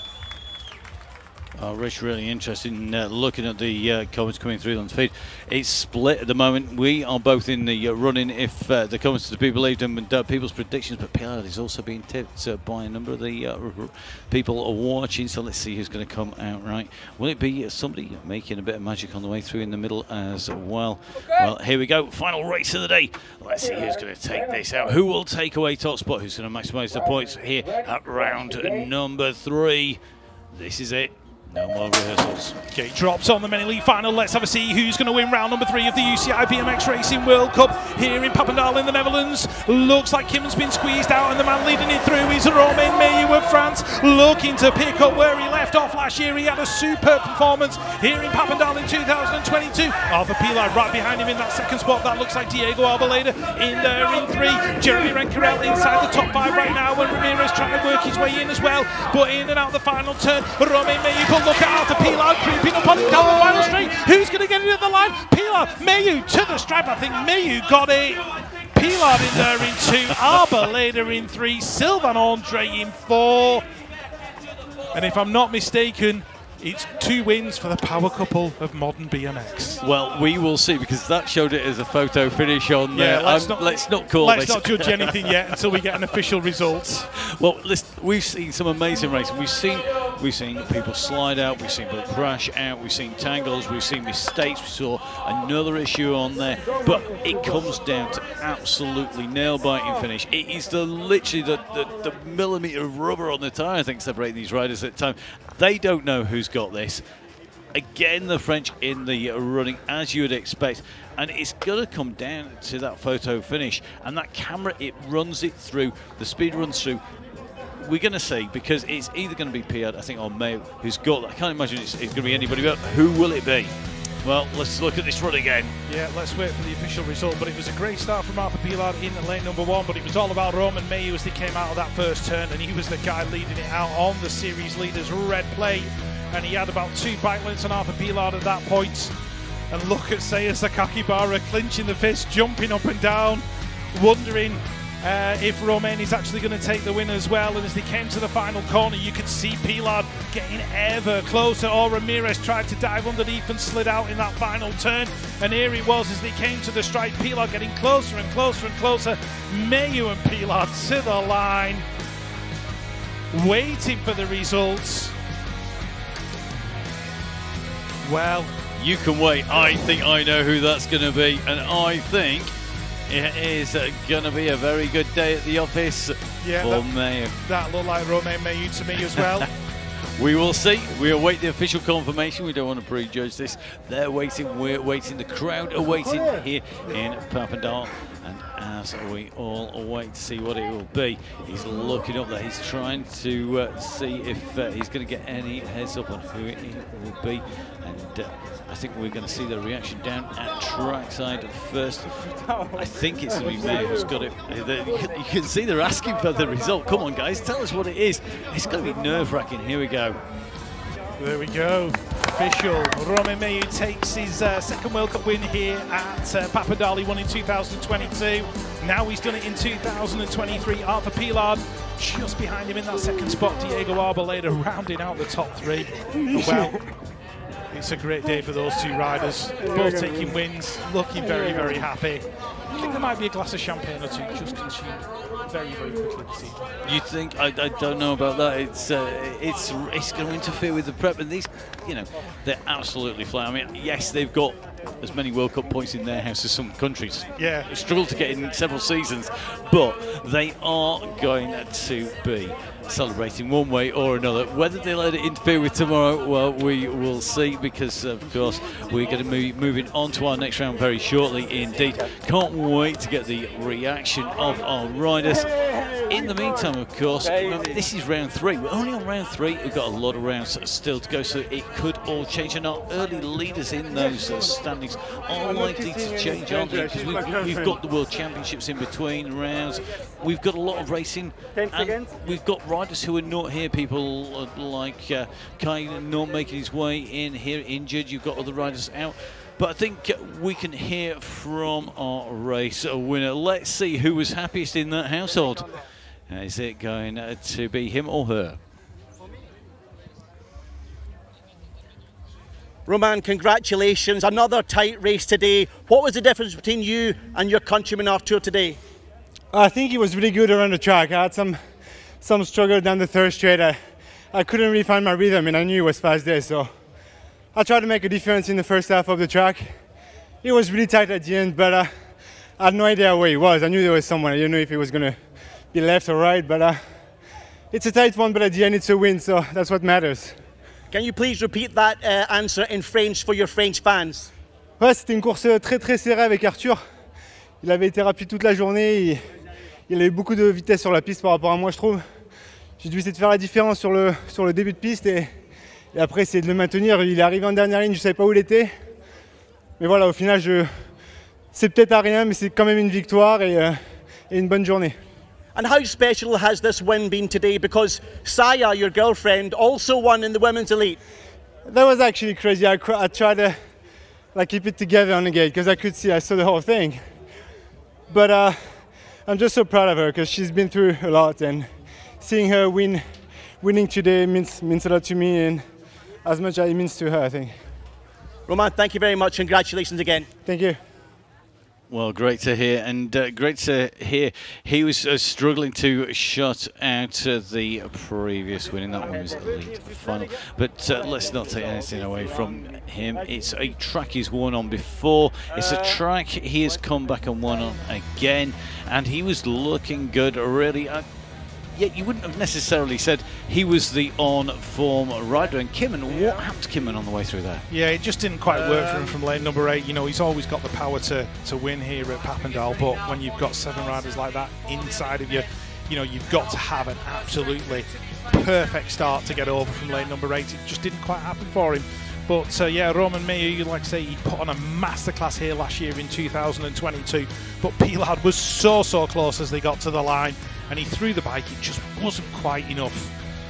But uh, yeah, smiles and delight all round for Saya and Romain. Congratulations.